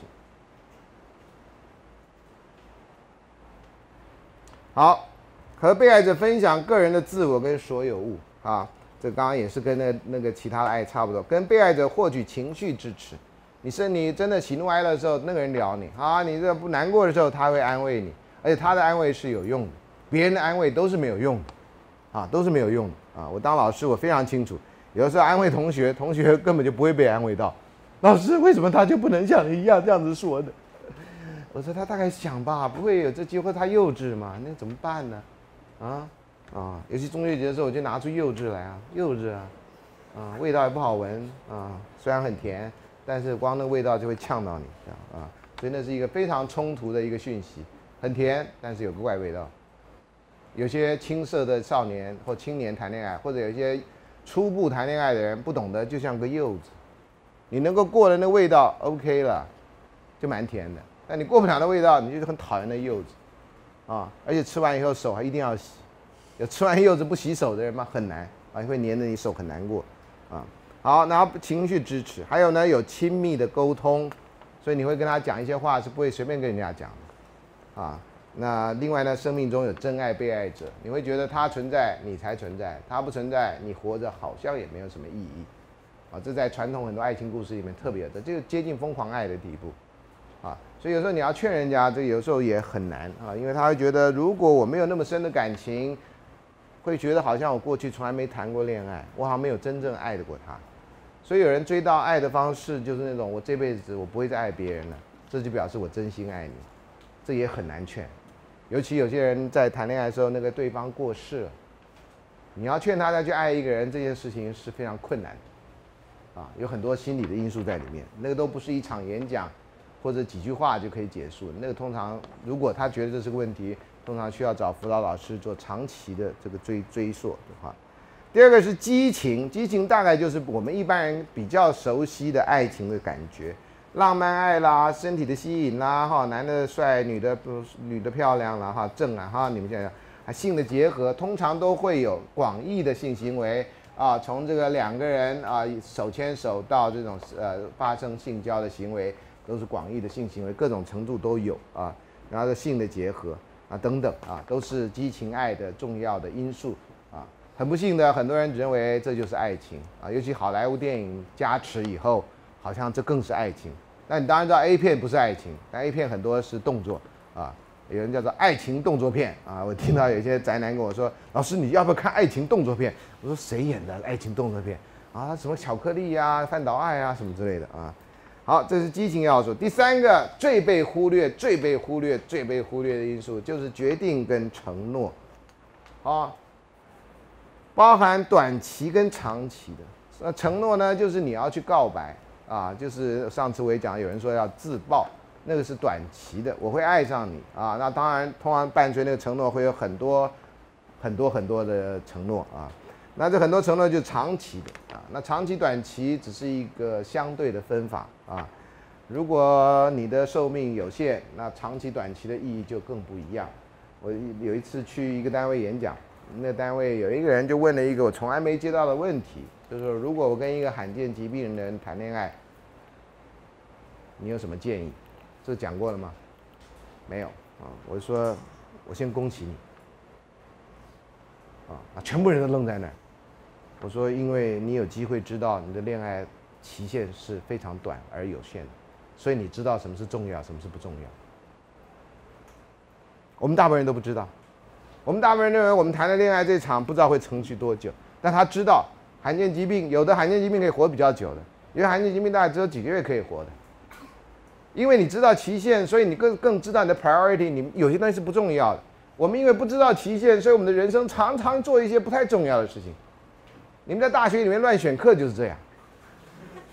啊，你们真的乱选课就是这样。那对老师跟对你们都是一大打击跟侮辱啊！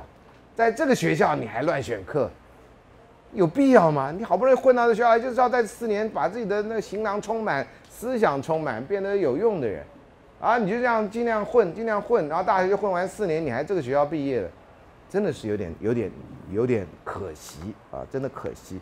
那现在有这个开放式课程啊，开放式课程好处就是你不是这学校毕业的，你一样可以看到这学校到底教什么书。当然，配合的老师有点少，有点可惜。我觉得台大应该强制所有老师都上开放课程，让全台湾的人都可以享受到他纳税得到的好处，也可以让台学生在外面人知道台大人是怎么上课的。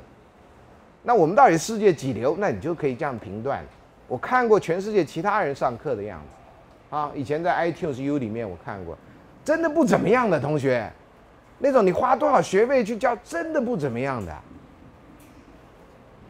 啊，没有比较你就不知道，你有比较你就知道谁上的课好跟坏。那时候所有人都是交换学生，你不必离开国家，你就是交换学生。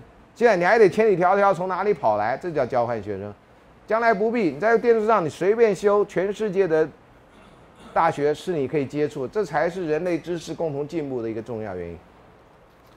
啊，将来翻译软体又翻得更好，所以呢，我们讲话你就可以什么乌克兰文啊。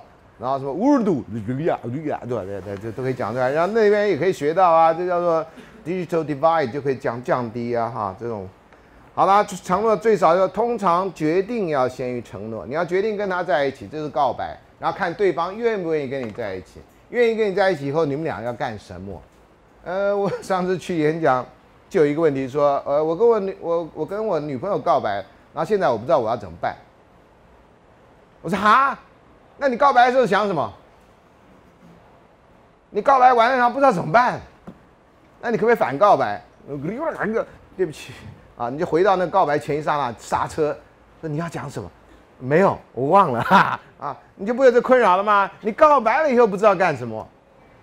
我第一次碰到这个问题啊啊，那次演讲碰到好多第一次的问题，那怎怎怎么会这样呢？非常困扰，希望老师指教。老师建议他分手。你都不知道你要干嘛嘛，就就就反告白，说对不起啊，那时候我昏了头了，这样，数密码线这样啊，你就回到那里去了嘛，啊，我搞错了嘛，等我搞清楚，我们再重新来一遍嘛，那怎么办呢？啊，啊，有这个日文的同学在，那太好了，我将来就可以讲一堆那种，呃，日本的连续剧我以前看很多，日本的通常有些女生喜欢男生，然后就会跟男生说 skides 这样啊，我喜欢你。他们都不会讲我爱你，我不知道为什么都 skides，然后那男生呢，通常就会先愣在那里，然后那镜头会一直转，啊，大家在等男生什么时候告白，通常还会进个广告，啊，你知道吗？广告完了他才告白，然后就说哇卡里马西达，你这没学过对话吗？人家说 skides，你应该说 OK 对不对？或者 No OK 啊 OK Not OK Nine 啊，都是都是一个办法，怎么会就哇卡里马西达？你到底喜欢我还是不喜欢我？我说喜欢你了，哦，我知道了，嗯，续集接到了，然后呢，然后呢，啊，我每次看到这个我都大惑不解，这样哈，到底日本人是怎么想的？这样啊，呃，然后就是说啊，我以后的事情要请你多多关照，你在找事情吗？啊。所以这每个文化表现真的略有不，我不知道现在男日本男生是不是还男女是不是还这样，但至少我以前看连续剧看的莫名其妙啊。还有一个男同学跟我说，老师这不是日本人专利，在 Star War 里面有一集 Han Solo 跟那个 Prince Leia 就告告白过，然后那个 Prince Leia 就跟他告白说 I love you 这样，然后呢他们正在逃难，然后那个 Han Solo 就说 I know，然后就这样，那翻译成日文不就是我看你妈是打吗？后来那同学还拿 iPhone 给我看，说老师有这段影片为证，你讲的日文的是不对的。我想，哼，真的是学生博学多闻啊，老师跟着因此受益啊啊，所以不是只有日本人这样啊。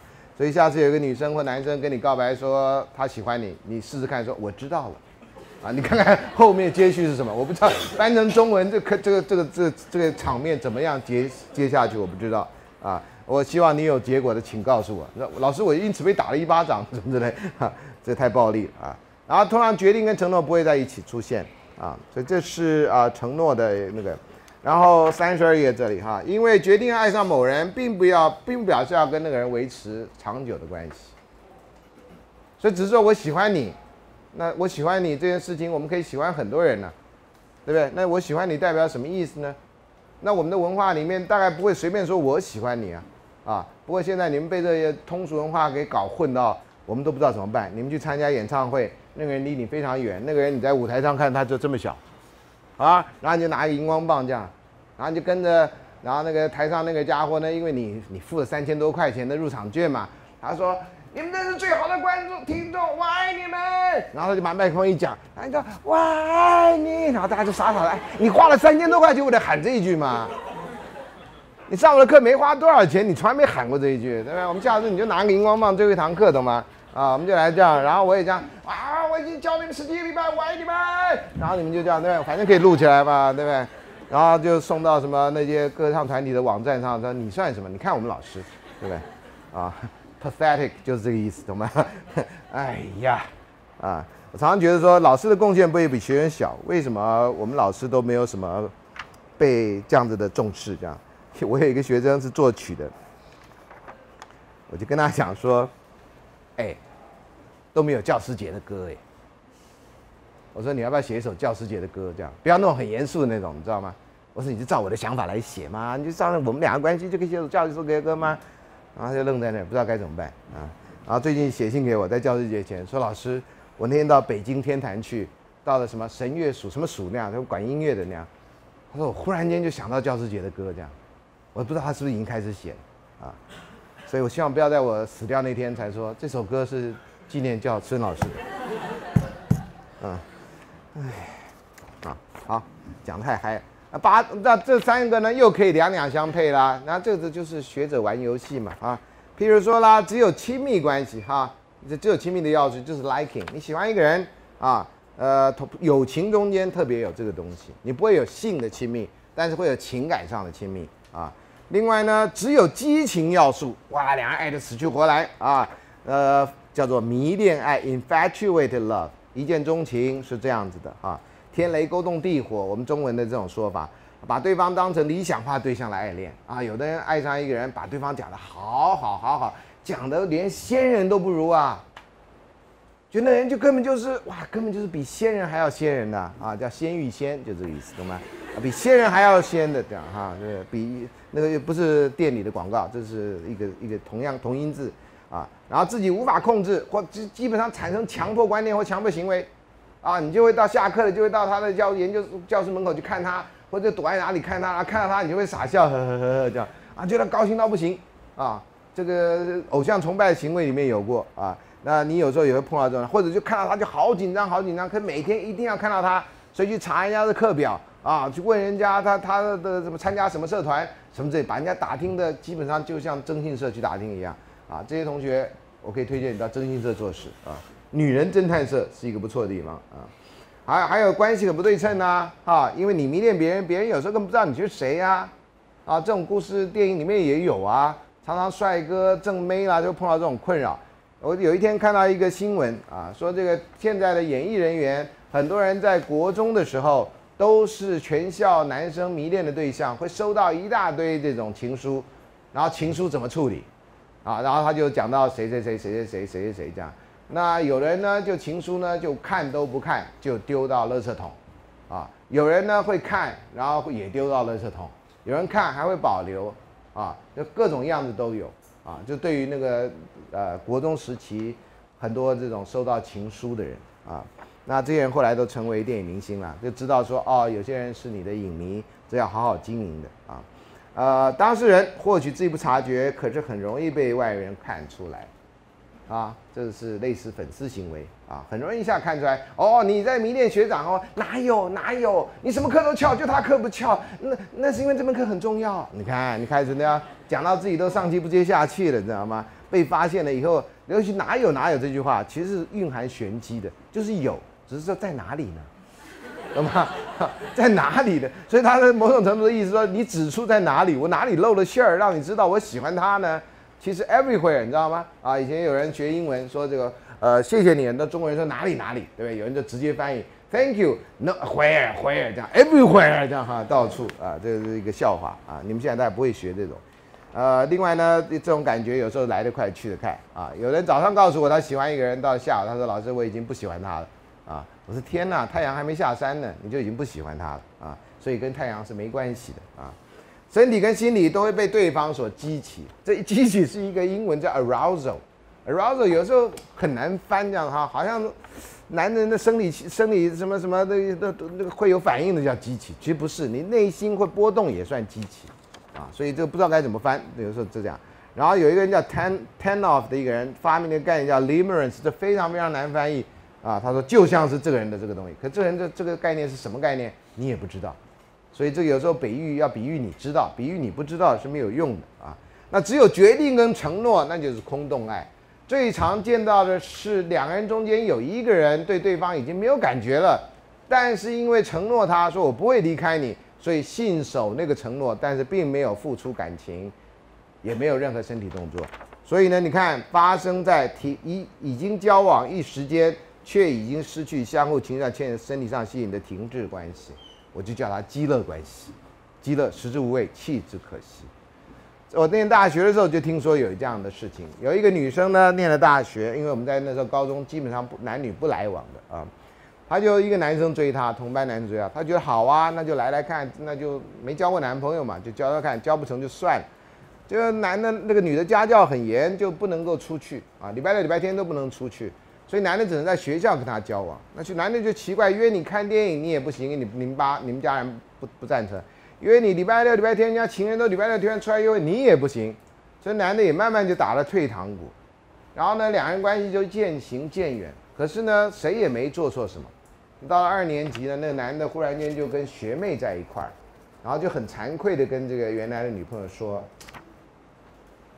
做了一件对不起你的事情。嗯，女朋友说做了什么事呢？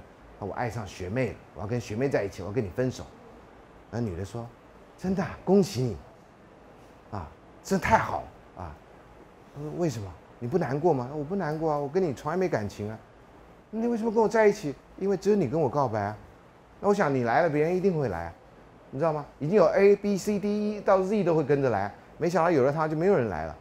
他不知道我们那时候的江湖规矩是朋友妻不可欺啊。你既然是别人女朋友，我们男生避你唯恐不及啊，像你这有什么瘟疫一样。他不知道，他以为第一个男的来了以后，其他男的都会跟着来，啊，苍蝇扑屎一样什么之类的。对不起，飞蛾扑火这样比较好听。我怎么讲到那儿去了？对不起啊，这段要呃，老师讲话不太那个，比喻就有问有问题有问题啊。呃，带倒带讲，就飞蛾扑火一样啊。哎。所以呢，然后重点什么呢？重点是没有人做错什么，所以男，然后呢，我们的时代想法就是所有分手都应该男人来提啊，怎么你女人提分手呢？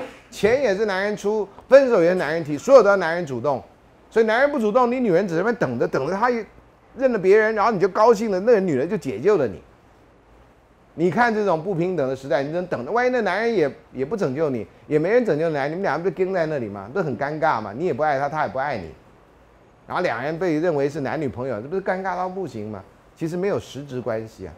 好，这就是这就是空洞爱啊，啊啊，不然呢？除非有很强很强的承诺，有些外在环境的那个，那你这承诺会这更加强。譬如说啦，啊，你经过战争，两个人两两个人感情很好，忽然间战争要把你分开，哦，这种感情会非常浓烈，因为战争呢会让你知道你的情感更可贵。像我们上次在黑板上讲的《诗经》里面的啊，呃，就算快死了，然后你忽然间想到生生命中最重要的那个承诺，然后不能达成的承诺，最后你会不知道含恨而死还含爱而死，就不知道。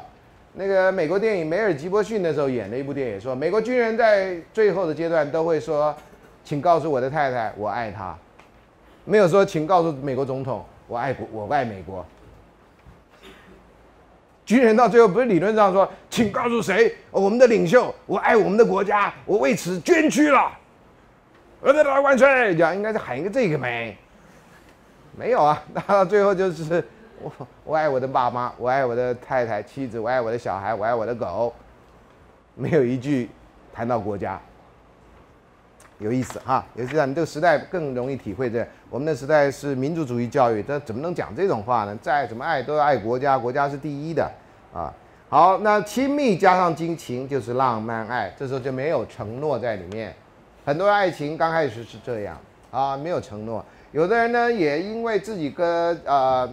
经验的关系或者其他的因素，他会觉得爱情就这样，我跟你在一起，我们就走一天算一天，谁知道明天会怎样呢？啊，那这种就是说，那我们就是明天如果我们相爱，我们就继续在一起；如果我们不相爱，我们就分手。听起来非常开放，对不对？那你说，那我们现在分手好了，我不能跟这种人在一起，你看他是不是真的那么开放？如果这么开放，他就说好，啊，我觉得我们是不适合的，那他真开放。不然的话，他就是蒙你的，啊，很多人很容易受骗，啊，很多人很容易受骗。浪漫爱啊，好，另外呢，亲密加上承诺呢，就是温情爱，激情的部分比较少，好，激情部分比较少。所以呢，对你们很多谈恋爱来讲，天哪，我跟他在一块儿，我们现在也不接吻了，顶多牵牵小手，那其他事情也都不做，那我们这算是爱人吗？这好像亲人了嘛，啊。那亲人有什么不好？我这已经讲过好多遍啊！如果真的是一个关怀你的人，那你如果真的很在乎肉体上那个，看能不能恢复，不能恢复，那你要不要接受这样的感情？因为就算你结婚了，到了某个阶段，性的因素就越来越不重要了。因为随着你身体的问题，哈，不是不是因为有外遇的关系，可是最后留下来是什么？最后留下来可能就是那个承诺跟亲密啊，就是这种温情爱。啊，这样你现在有时候很难想象，但有一些信教的同学，特别是天主教、基督教的，就会比较强调这样的爱情，比较不会强调肉体的爱情。啊，那有些宗教对于肉体的关系呢，会比较忌讳，觉得好像肉体是一个魔鬼的吸引力。啊，那这个呢，也是一个有些人会走向这条路，只有激情，然后有承诺，却没有这个呃亲密，它叫做 fatuous love，我把它翻成愚蠢爱。啊，这不是太好的翻译啊，因为有时候好像在骂人啊，它其实没有这样的意思。那好莱坞常见剧情啦，情侣相识啦，很快订婚，很快结婚啦，还有的很快就离婚了啊。日本人呢，就就就把这个故事呢，是这样类似的故事拍成叫做平，呃，叫做什么成田离婚，成田机场啊啊，大家很快乐去度蜜月啊，在度蜜月里面就发现很多订方两人不和了，回到成田机场就办离婚，蜜月完了啊，这个还拍成连续剧啊，叫成田离婚。啊，所以日本人有时候发明了很多字眼，可以描写现代人的一些。这不是只有日本人这样啊，美国人到拉斯维加斯很快结婚，很快离婚。啊，你看那个叫什么《最后大丈夫》是不是？那个啊，起来说什么掉有一个戒指，然后浴缸里面有一只老虎，然后又什么掉了一颗牙，然后慢慢去想他那天晚上到底发生什么事情，还拍二啊，真是笨一次还不够，要笨两次嘛，对不对？那可能还会拍三，我看哈，这样搞下去。那三个要素都有，他就认为这叫圆融爱。这当然多多少少代表了研究者对于这个这种感情的这种赞许了，啊，所以三个都有。那三个都没有呢，就 non love，就别谈了嘛，什么都没有，就是啊，呃，连朋友都不算了，啊，就是路人甲了，啊。那爱情三个要素啊，他认为有强度跟平衡的问题。一个人对于另外一个人爱情强度越大，两个人的三角形就越大，这又是一个比喻了，啊。那爱情的平衡呢，决定了三角形的状况，不是你一方面对他有感情就好，你要两方面，如果两方面的情感恰当，那你就是一个比较平稳的感情、平衡的感情关系。如果呢，你的那个情感偏向一方，另外一个人偏向另外一方，那你们大概就已经慢慢走上分离的道路，啊，所以爱情要两个人配合这件事情是很不容易的事情，啊，很不容易的事情，所以这是，那另外他又觉得还有可以发展成，他没有继续讲，说可能可以这样做，理想的三角形跟实际的三角形，啊，你可以自己画那三角形重合的程度怎么样？啊，那自我的跟相对于他人的三角，你觉得你自己怎么样？那你觉得对方怎么样？有的时候有些人会觉得，我觉得我比较爱他，他比较少爱我。我觉得我常常会替他着想，他从来不替我着想。啊，你慢慢会发现这种呃不同意的地方。啊，那还有自我知觉的相对于他人知觉，有些事情当事人的感受跟外人看法是不一样的。有些人就会觉得，我从别人来看，哇，你们俩好甜蜜哦，因为他看到你的时候呢，都是公开场合，都是譬如说要去吃饭或者干嘛的。那你吵架的时候他没看到，吵架的时候你知道，那你被人家看到时间短，人家就哇，他好甜蜜哦，你看每天都跟她男朋友在图书馆，每天一起去看去去吃饭啊，你就看到这种甜蜜的镜头。那其他时间呢？啊，冷战不讲话或出什么问题，你完全不会知道啊。所以这个呢，三角形也会不一样，别人会认为。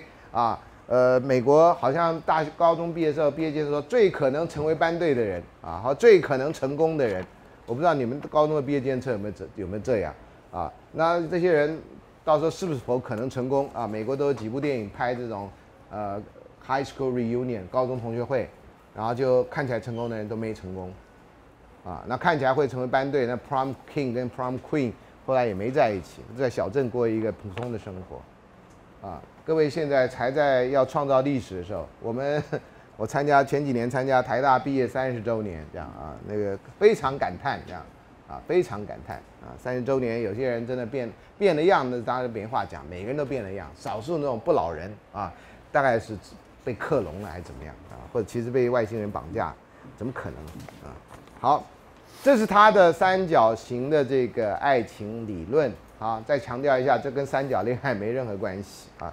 那另外一个呢？他后来也发展出叫爱情是一个故事。他发现呢，人的人人们谈恋爱之前，大家都会设想自己会发生什么样的爱情故事。那有时候实际上发生了什么样爱情故事？那他就把这个他所听到的故事或那个就做了一个研究归纳了。他认为爱情故事有三个元素，每个人都希望的情节，会设想自己的爱情会怎么样的发展。第二个就主题啊，你的爱情故事你会因为故事是被浓缩提炼。所以你会特别强调某些部分，他后来就以这个为主。另外呢，会牵涉到什么样的人物、什么样的主题、什么样的故事啊？那他总共呢，在这个二十四页里面，总共合计的五大类，有二十六种故事。好，那个爱的故事，它就分成五大类啊。那这个列了很多，我就不要念了哈，因为啊，这里面包含了你理想中的关系，或者是你。这个真实的关系啊，所以爱情会有很多样貌，就是这样哈。有的时候大家问我问题的时候，我因为不知道你特别的故事，所以我回答的有时候是针对一般性的问题来回答啊。那可能你有特殊的情况，不是那一般性可以可以解决的问题啊。啊，如果你要继续来问我，可以下课问我。如果你觉得困扰到很大，你可能真的要到辅导室去这样啊。所以像这种不对称的故事啊，就是一个不平等的关系。啊，那很多人是宁愿进入不平等的关系哈。我虽然劝你们平等对待，共同奋斗，很多人觉得有人爱我，这已经是老天爷厚爱我了。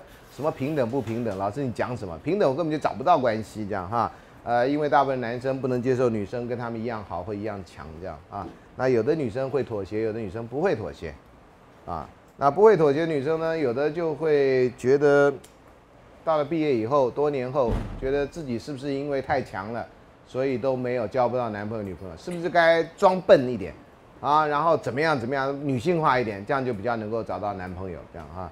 也有些人有这样的困惑。呃，因为我教书那么多年了，有些学生年纪已经到社会上已经很久了这样哈，我都觉得这是个人选择啦啊。我觉得平等对待共同奋斗，你的烦恼会比较少啊。呃，但是每个学生的经历不太一样啊，我也不能一概而论啊。好，所以这二十几个故事，你倒是看一下啊，它这都有一些区分类。它那本书有中译本，所以你真的想看更详细，你可以去看那个中译本啊，有关这个爱情的故事。那这个呢，就考虑到爱情发展的阶段啊。就至少爱情是有发展的，才会有这些故事这样子啊。啊，那他最后，请大家跳到第三十二页啊，三十二页，他会提出来，既既然研究了这个，然后这本书呢是半通俗性、半学术性的书。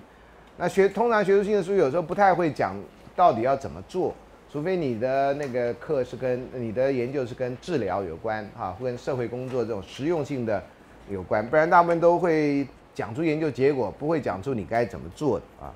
那他还是讲了爱情成功有几个条件，第一个你要了解跟体会故事在爱中的角色，就你这样的故事到底跟爱有什么样的关系，这样啊。第二个是了解自己的爱故事是什么样子，啊，你了解自己爱情故事，你也愿意这样做，那大大概对他来讲是比较 OK 的这样哈。如果不了解自己的爱情故事，认为爱情就只有这一种样态，然后你就要这样下去，有的时候是让人家觉得你真是不值得啊。你这样牺牲到底是为什么呢？你说爱情不就应该是这样吗？啊，你被人家占了便宜，你又说难道爱情不是这样吗？爱情有很多样貌，你如果你认为这就是你要的，那是 OK 的。可是如果你要已经那样子讲话声音都不一样，爱情难道不是这样？那我都可以告诉你，爱情就不是那样，爱情可以是别的样子。有那么多种故事了，你想，啊，有二十五个故事，就至少有二十五种样态啊，你为什么要选这个样子呢？啊，所以这是可以告诉你，你自己可以发展出你自己的爱情故事啊，不一定要跟着别人怎么样你就跟着怎么样啊。另外呢，爱了解爱情故事呢，这是我觉得也可以给你参考的哈。虽然第一题他说思考上面提到的问题，然后给自己打分数，呃，我个人不太喜欢这种哈，然后看着问题打分数，然后最后看结果四十分到四十五分你是什么样的人，四十五分到五十分你是什么样的人，常常有些杂志很喜欢这样，对不对？让你消磨时间嘛。我不认为那个东西有太大的科学作用，但那东西有非常好的心理作用，啊，你做完以后一对照啊，原来我是这样的人，好像你得到的答案那个没有 哈，其实你得到的是一种心理上的一个疏解而已。好，那你要思考何种人会吸引你，何种事件与你在你跟这个人的关系中发生，这个人跟事会相入何种的故事。有些人希望找一个人来依靠，哈。呃，就是我上次讲的七十六岁那个老太太，对不对？她第一次结婚，啊，结婚的是八十几岁的坐在轮椅上老先生。记者问他，他就说：“哎，等了七十六年，终于找到一个可以依靠的人。”我上礼拜已经告诉你了我的看法。我觉得你七十六年来都没有依靠任何人，你到了七十六岁要依靠一个坐在轮椅上的人，这件事情是很奇怪的概念。我觉得应该不是，你根本就没有依靠他。你为什么不能讲？也许他的词汇里面说：“我终于找到一个跟我相爱的人。”我觉得这是一个比较合乎情理的一个答案。找到依靠人，可能是我们这社会比较喜欢接受的答案。女人一定要依靠男人，女人不要太强。然后常常有那种女强人，这新闻就会强化。你看这个女强人，没有男人敢跟她结婚呐，她只好私下偷偷的跟谁结婚，生了个小孩啊，然后都不敢讲她爸是谁啊。然后什么，他家头上呢有什么招什么的旗子啊？这样就开始这样就把这个事情就做成那么大，啊，这个对当事人当然是非常不公平的了啊！这根本上就是一种一种一种诽谤，我觉得啊。好，另外呢，问你在书里、电视上、电电影里面，什么样的爱情故事会吸引你？老师因为个人的兴趣关系，哦，什么爱情片都看啊！现在连各国爱情片都看，自从知道韩、那泰国也有不拍鬼片的，我也看。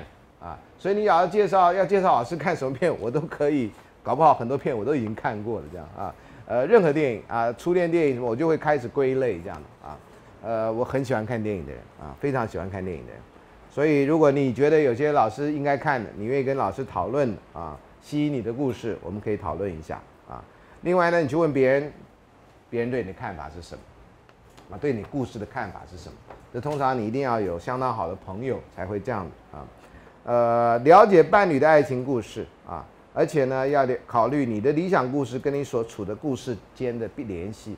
有时候你的理想故事跟你现实碰到真的差很远的，啊，那你的理想故事到底是实际还是不实际？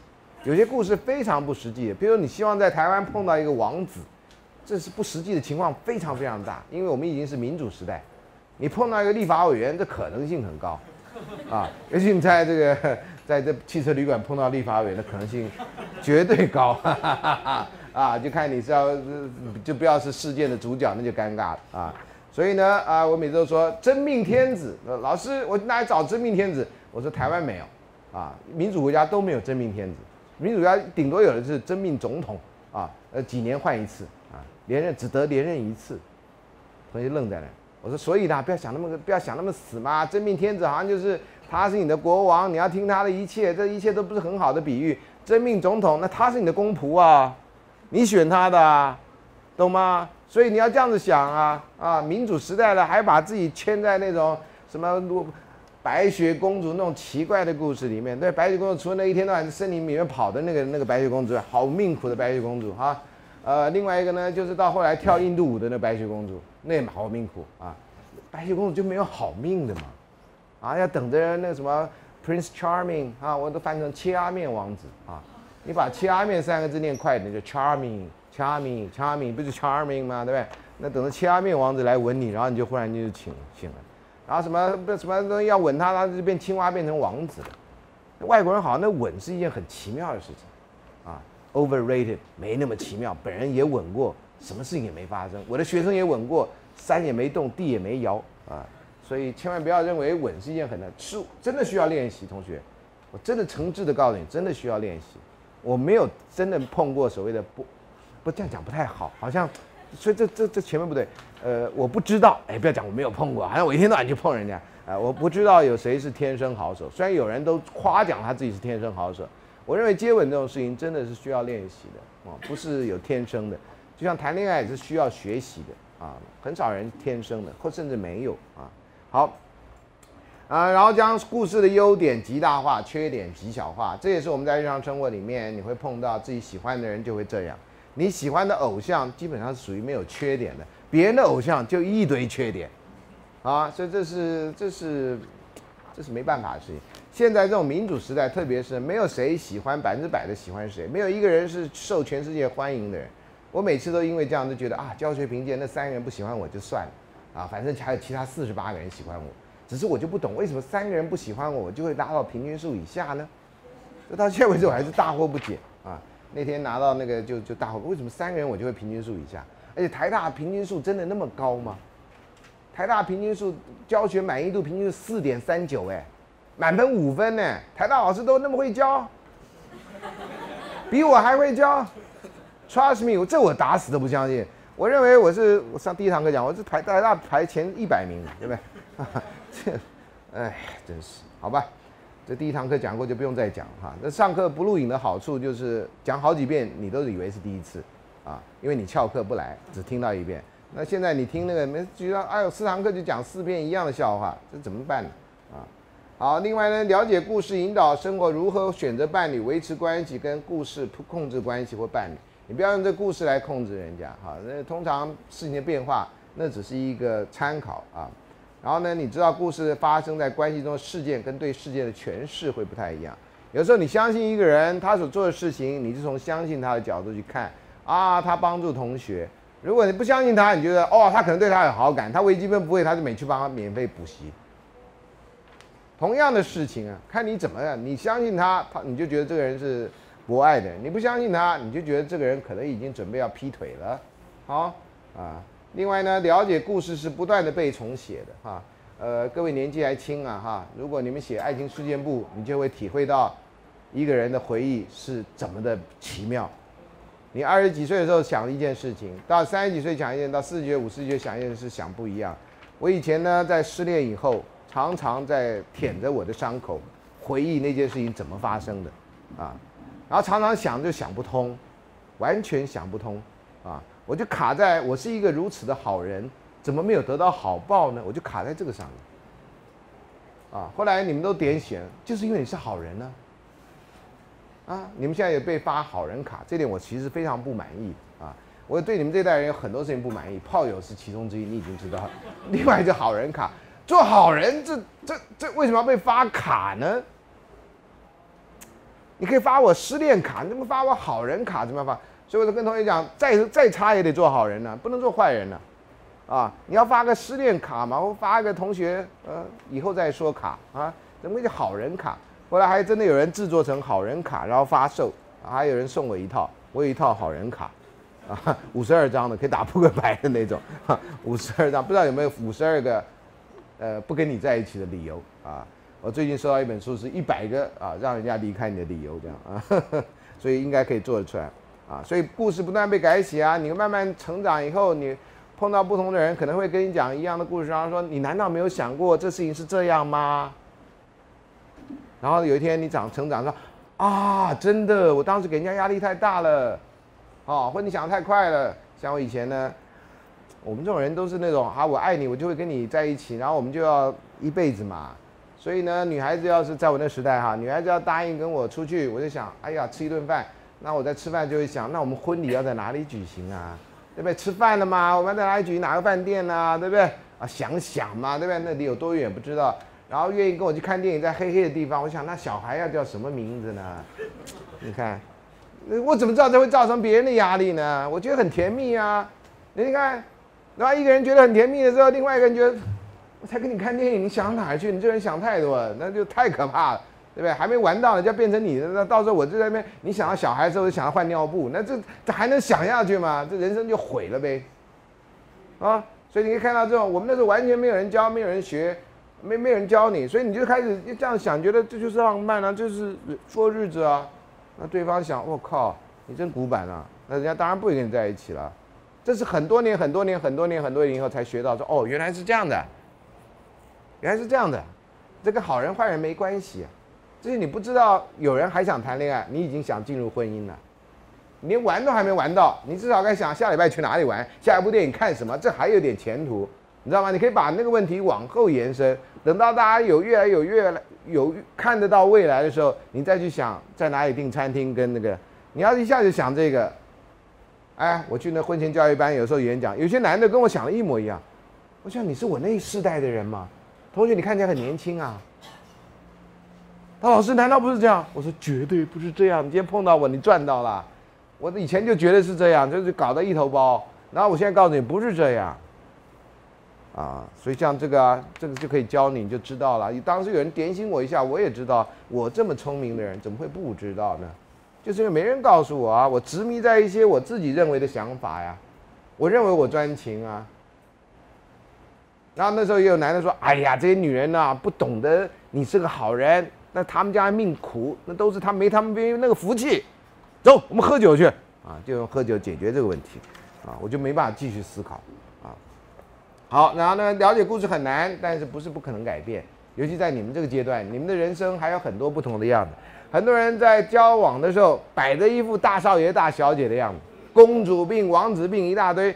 然后后来结婚以后发现，哈，地质已经结束了，每个人都变成平等的人，啊，男生也会烧饭了，啊，女生也会干什么的这样哈。然后两个人就互相合作，然后再也没有王子跟公主的问题。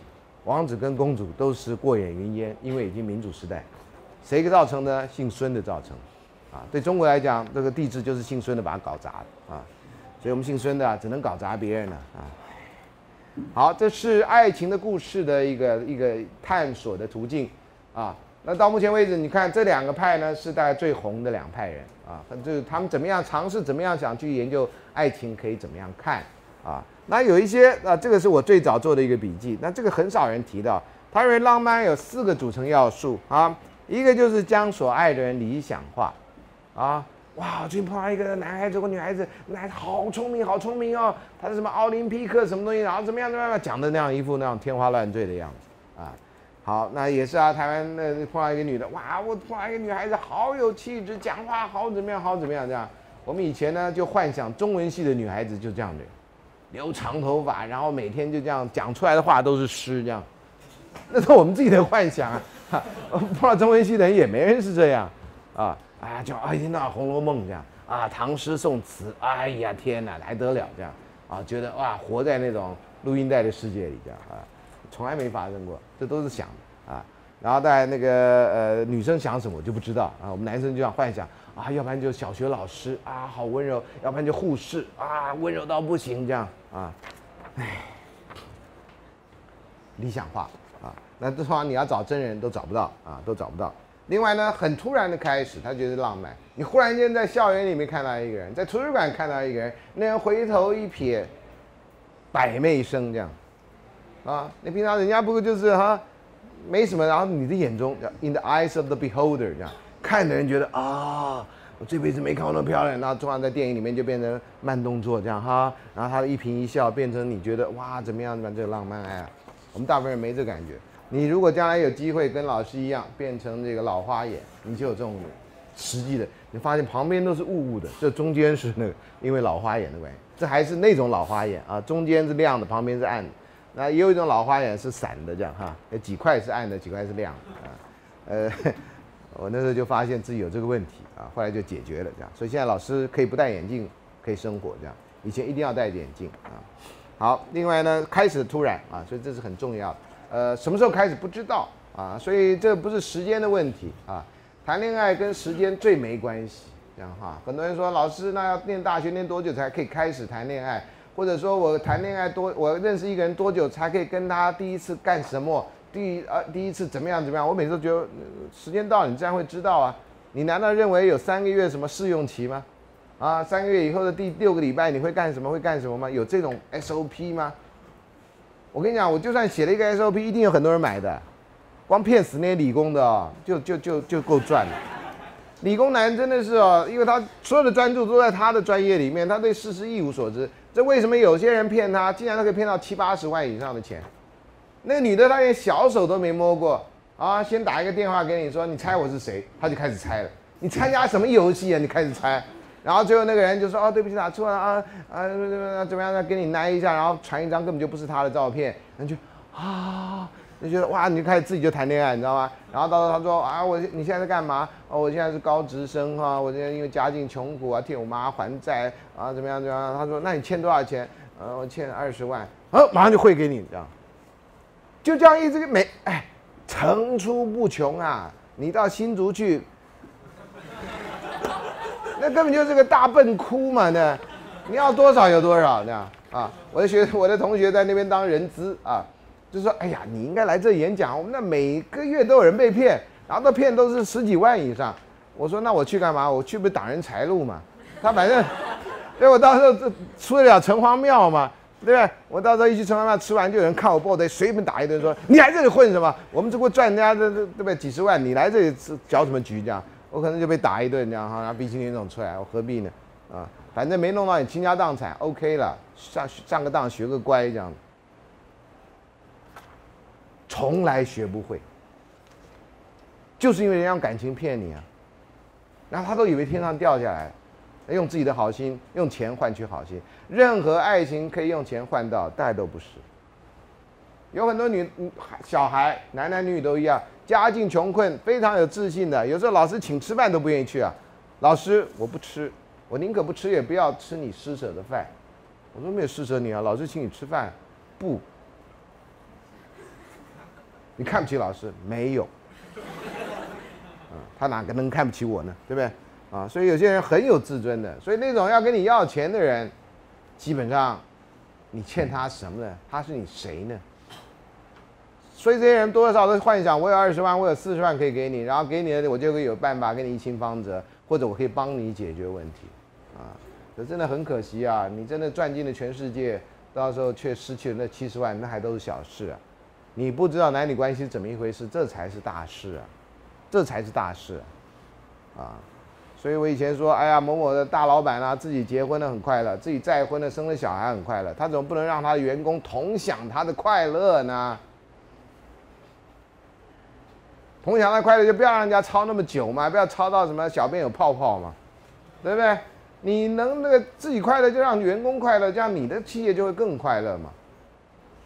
啊，这种人没有同理心，啊，所以自己快乐不让别人快乐，这真的很糟糕的，这是不对的啊。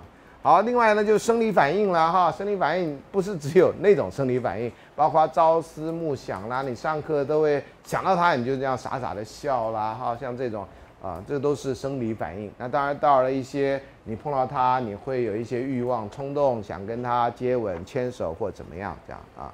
然后第四呢，就愿意为爱人牺牲这样。这大概就是一连最坏最坏的人，可能在碰到自己的小孩、碰到自己爱人的时候，都会做出最利他的行为。这是不可思议的事情。从其他动物来讲，好，这种利他行为是人类很高尚的一个部分。我们通常会在民族主义的电影里面看到那种牺牲小我完成大我的那片，然后你在日常生活里面看火灾，看到爸看到妈妈爸爸很少到火窟里面去救小孩，爸爸真的非常少啊，爸爸非常。台湾呢，或这个世界越来越像单亲家庭，啊，你放假有机会到公园走走，你看带小孩的是双亲的多还是单亲的多？单亲里面你看是不是妈妈出来带小孩多？好像这个社会的人都没爸爸。我们是摩修族是怎样？啊，大陆摩梭族是走婚的，基本上没有爸爸，这或只知道母亲不知道爸爸，啊，接下来这是最重要的是爱情依附理论，最近在理在这个呃学术的领域里面红到不行啊，因为好像可以解释了一切，其实不是啊，不要不要误会，理论可以解释一切，很多理论是尝试解释，对某些现象确实有很好的解释能力，但是这不是万灵丹啊。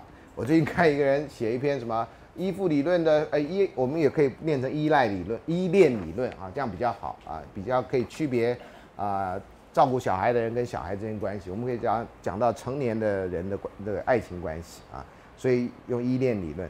那依恋理论呢，他十年来他发现很多的研究，然后最后的研最后的结论之一、反省之一就是说，并不是所有的爱情都是依附关系或者依恋关系，并不是所有，这不废话吗？啊，但是有时候学术界呢就会讲出这些废话啊，这是很浪费生命的事情。那一 attachment 啊，这个概念是有一个人叫 Bobby 的啊，Bobby 跟这个谁一点关系都没有啊，你知道我的意思啊？这个人真的叫 Bobby 啊？有些人很奇怪的名字，经济学有一个经济学上史上有一个人叫屁股啊，P I G O U 屁股先生啊，我觉得这老外都好可爱，怎么取这个名字？Bobby 也是啊，没有比这名字再好的名字。那人会红，真的有道理的哈。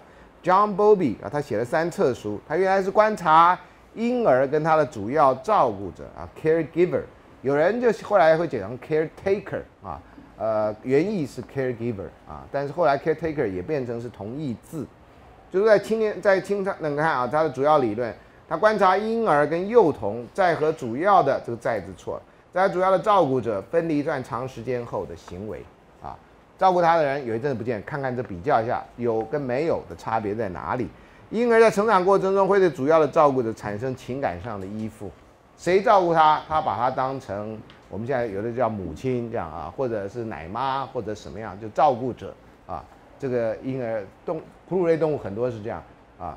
有一个最有名的故事是劳伦兹养了一堆燕鹅，有一个瑞士吧。是不是的一个呃叫做动物行为学家养一堆燕鹅，他发现燕鹅在这个某一个时间孵化，在长大以后，在某一个时间会有 imprinting 的效果，他会把那个他那眼看到的人当成他妈妈，就跟着他走。所以劳伦兹最有名的一个的照片就是他走着后面跟了一堆燕鹅，因为认他是妈妈，他就做了这个实验，然后提出这个 imprinting 的理论，变得非常有名。啊，在一个时间他就会认定就是他，啊。呃，所以呢，这婴儿成长过程主要照顾产生情感的依附啊，跟这个是有点关系的。然后当和主要照顾者分离的时候，会产生情感的挫败感，啊，那你可以马上联想到他谈恋爱的时候，有些人也有这样的情况啊。当人类或者灵长类的幼儿跟父母亲分离的时候，会产生一连串情绪反应。他观察到，首先呢是抗议啊，哭啊闹啊，对不对？妈妈妈咪不见了。哭闹、寻找，不让别人安慰。哎呀，别哭啊，他马上就回来。你当过保姆照顾小孩，你知道他一定会哭的，马上就回来。你骗他，你以为他不知道啊？所以第一个都会靠阶段，就是失望，妈咪还没回来啊，就一直哭，一直闹，一直哭，一直闹啊。然后被动的状态，明显的悲伤，然后最后会冷漠啊。当然这时间长短不一了哈。然后母亲一回来的时候，就会防卫性的忽略或躲避，生气啊。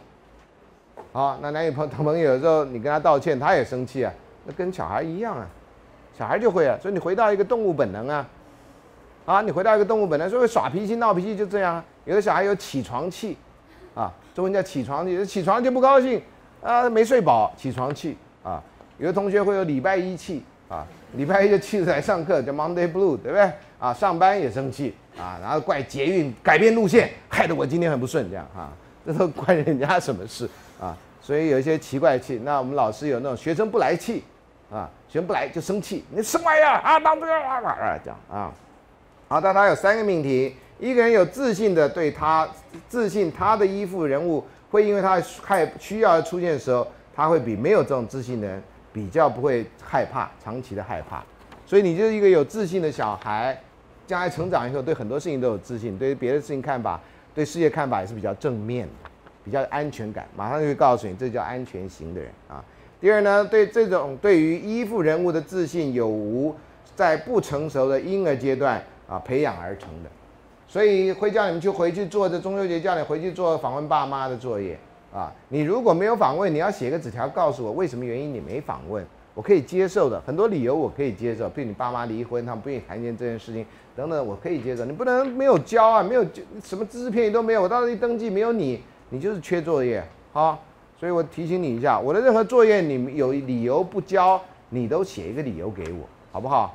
啊，我不是那种喜欢发脾气的人啊，但我希望我讲了你就好好去做，因为跟这个有关啊。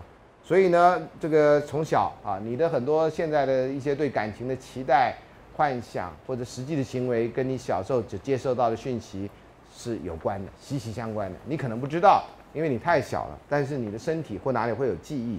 然后第三个呢，是个人在不成熟期所培养对依附人物的可接近性跟情感交融的期待，相当程度的反映出个人实际所有的经验。所以你是一个安全型的人，你就在谈恋爱的时候会很相信别人。相对而言，啊，在人际关系也一样。你是一个焦虑型的人，你就常常怀疑那个人是不是还在爱你。你每天都要肯定一下，你今天还爱我吗？最明显的人物谁？白雪公主的妈妈。白雪公主妈妈每天要三问呢。啊，人家是跟佛陀三叩首啊，三三问讯呢。她是每天要问魔镜，魔镜，魔镜，世界上最美丽的人是谁？那个魔镜她做的嘛，当然就说那当然是你啦，对不对？你照那镜子出现别人，你是什么呢？你是低级头的照相框嘛，对不对？你照镜一定是他嘛，对不对？那现在的魔镜在因为电视的技巧、电影的技巧都会拍得很那个，对不对？啊，直到有一天那魔镜烦了，就说最美的人不是你啊，是你女儿啊，故事就开始，对不对？啊。都这样演的，这个白雪公主故事也没有那个魔镜就没意思，啊，那魔镜呢，其实就是心理的魔镜，啊，好，那你看啊，有这个以后呢，那这个小孩婴儿期的那个依附的特质或依恋特质跟成人浪漫爱比较，这个是 Shaver、Hazen、Bradshaw 这三个人啊，依附关系，你看第一项，第一项依附连接的形成跟特质要依依附对象。的敏感度跟情感交融度而定，这是婴儿状况啊。然后浪漫爱呢，爱的感觉和我们对于爱情对象的兴趣和回报具有强烈的欲望有关，所以你的爱的感觉跟对方的回应是有关的。啊，你爱对方也回应你的爱，哦，这两个人真的是觉得在同一个层次上。你爱对方都没有回应，你就觉得那现在是怎样？好，你喜欢一个人，一个人很冷淡的回答。这是我刚刚讲的日本人的那个啊，skides 叫啊，那 skides 以后是瓦卡里马西达啊，那日本人这怎么活的我都不知道。我到日本我大概就没办法活啊。那瓦卡里马西是要还是不要？你就就就一刀给我吧，一刀毙命，好呗。嗯，然后依附对象提供一个安全的基地，因而感到有能力跟有安全感啊，去探索。那爱情的真实对象或想象的回报，会使得一个人较有自信，更有安全感。你喜欢的人，你去告白，他马上喜欢你。哇，你会觉得上帝爱你啊！这真的是一个美丽的世界啊！你喜欢的人去告白，他跟你瓦卡里马西达，你想啊？你喜欢的人你去跟他告白，他跟你说对不起啊！你怎么会有这种想法？你是哪根筋不对？那不回去哭死吗？所以有时候日本戏或者什么戏都会这样说。那你你告白，然后对方就没回信，这么着？哎呀，我骗你的啦，跟你开个玩笑嘛，你怎么不能开玩笑的？哎呀，我怎么会喜欢你呢？然后就转过去就，啊哈哈啊，就是让自己看起来比较有下台阶，这样啊。那当事人就很困扰啊。那你既然讲了，我还没想到呢，那还没回答呢，你自己就就自己演起来。那我到底要觉得你喜欢还是不喜欢我？我要要怎么回答呢？啊，或者你说我喜欢你，然后他就跑了。他上次看什么电影就这样，他说我喜欢你，然后他就跑了，然后那你就愣在那。他后来拿了一个什么东西回来，这样啊，好像类似我也爱你什么之类的，就他跑了去拿东西的，啊，不是他跑了就是觉得，然后那个坐在那边人就说，你知道吗？这个电影都是这种梗嘛，对不对？然后你就觉得哈，他不喜欢他，可是前面一个半小时了，怎么会不喜欢他呢？啊，这也太扯了，呃，不是那么扯，这导演有时候拍到没没梗了，你知道吗？就得那跑去啊干什么？好像是初恋这件小事，还哪一个电影啊？最近看了一个，啊好了啊，所以有些人就就万一你就跑了，那等他回来发现啊你也不见了啊他也不见了这样哈，要不就建筑学概论，要不然就是初恋这件小事啊，要不然还有什么电影啊？好啦，所以呢你这个回报是很重要，所以我希望你们能够诚实的跟你喜欢的对象或不喜欢对象，那诚诚实实问题会比较小，人家纵使难过也没有被你欺骗，最怕的是欺骗啊。啊，依附对象出现的时候，婴儿会比较高兴，挫败容忍度会提高，也比较不怕陌生人等等。然后爱情对象被认为是回报的，爱人者就会比较高兴，一般生活也会比较正面的看法，对人也比较友善好感，你会觉得人间是粉红色的啊，不是温暖的啊，这这是跟相关的。所以失恋的人看这世界基本上是非常灰色的，认为所有人际关系都是假的。本人曾经就有过这个经验，非常颓废啊，非常颓废啊，然后来上课像是行尸走肉啊。啊，那魂根本就没来，然后来的只是一个躯体，因为你觉得你根本就不在人间，你可能就在无间道，也不是人，也不是鬼，啊，也也死也没死透，活也不像活着，啊，失恋的人有时候会产生这种状态，啊，很可怕，很可怕，我自己经历过，真的极度可怕，现在想想都觉得哇，当时没做出不好的事情，真的也是妖天之幸啊，妖天之幸啊，有时候同学会来找我啊。那个一看一进门就知道他失恋，连话都不必说。然后有些同学就觉得老师你好神，老师哪是神，就经验多了，看失恋人看多了，啊，你这脸上写着失恋二字，啊，你自己不知道，我知道，啊，这个要像 CSI 一样拿什么光一照就失恋，老师我失恋了，不然怎么会来找老师呢？好好的人什么人来找老师呢？啊，我们当老师就有这个奇怪的宿命，这样哈，你好好的你来找我干什么？哦，老师，我刚好经过，少来啊！这地方怎么会有人刚好经过呢？真是啊！我真的听过很多的，老师，我刚好在经过这样。I'm just in the neighborhood。你看电影看太多了啊！这台词都从电影上抄下来的啊。好，那依附依附对象如果不在或者不不够敏感，婴儿会焦虑，心不在焉。所以当爱情对象表示漠不关心或者拒绝。个人就焦虑，心不在焉，无法专心。像今天问的那个问题，就很像这样。哎呦，他喜欢我，为什么还跟别人在一起？哎呦，为什么还跟人家拍大头贴，然后或者那种什么贴脸照啊？这什么意思？你就问他了，你不要问我啊，对不对？你下次就跟他说，你跟别人拍一张，我也得给你拍两张啊。用这种报复法，也许会有点帮助。不过，也许增加他去跟别人拍贴脸照，因为他这样赚到，是吧？他就跟别人拍一张，回来给你拍两张。对啊，好。另外呢，依附的行为包括寻求亲近跟接触，抱啊、触碰啊。小孩哭，大人通常做的第一件事情就把他抱起来。有的小孩一定要抱着才能睡觉啊。那有的爸妈会觉得，或照顾者会觉得很辛苦啊。有人会觉得很亲爱，触碰、爱呃爱抚、接吻、摇晃，这都是只对小孩微笑、哭泣、跟随、紧抓。那浪漫爱呢，也差不多啊，一跟爱情的对象拥抱。到了冬天啊，就更明显了啊，拥抱。那现在你们这个时代，在街上随便拥抱是完全不当一回事的，啊！我有一年啊，这个大概十年前了哈，我现在讲故事都可以有这种十年前故事，真的很可怕。呃，我们社会系在后面，我们旁边是资讯系，然后那旁边就有一个阅读的小女生，一个石像，然后那旁边有个路灯。我以前住学校附近呢，很晚回家，在七点多左右冬天，然后就看到路灯下，就站在路灯下有两个人拥抱着，啊，看得非常清楚，两个人拥抱着。那我就走过去啦。走过去一看，哎呦，那女的我认得啊！然后女的后来也看到老师了，就说：“老师好。”还一直抱着，我就极度尴尬。我先看一下别的地方啊，因为我有过那个老师好，然后我回答结果跟我无关的事情。我一次在大学口吃饭，然后那个我就背对着饭店里面人，然后我的同事也是大学老师，别的学校来的，然后就面对那个，然后就那边就传来一个声音说：“老师好。”然后那个人就说：“哎，同学好。”这样。我说你学生啊？他说我不知道，他不是我们学校。我说你不知道，你摇个什么手啊？他说反正人家说老师好嘛，摇手一定没错。这样，然后就听到后面大笑。我想怎么会有人大笑？老师好，然后老师说同学好，这事情就了了嘛，对不对？怎么大笑？我就回头一看，哎，这不是我的学生吗？我说你们这么乱老乱叫老师好呢？啊，老师我们是叫你啊。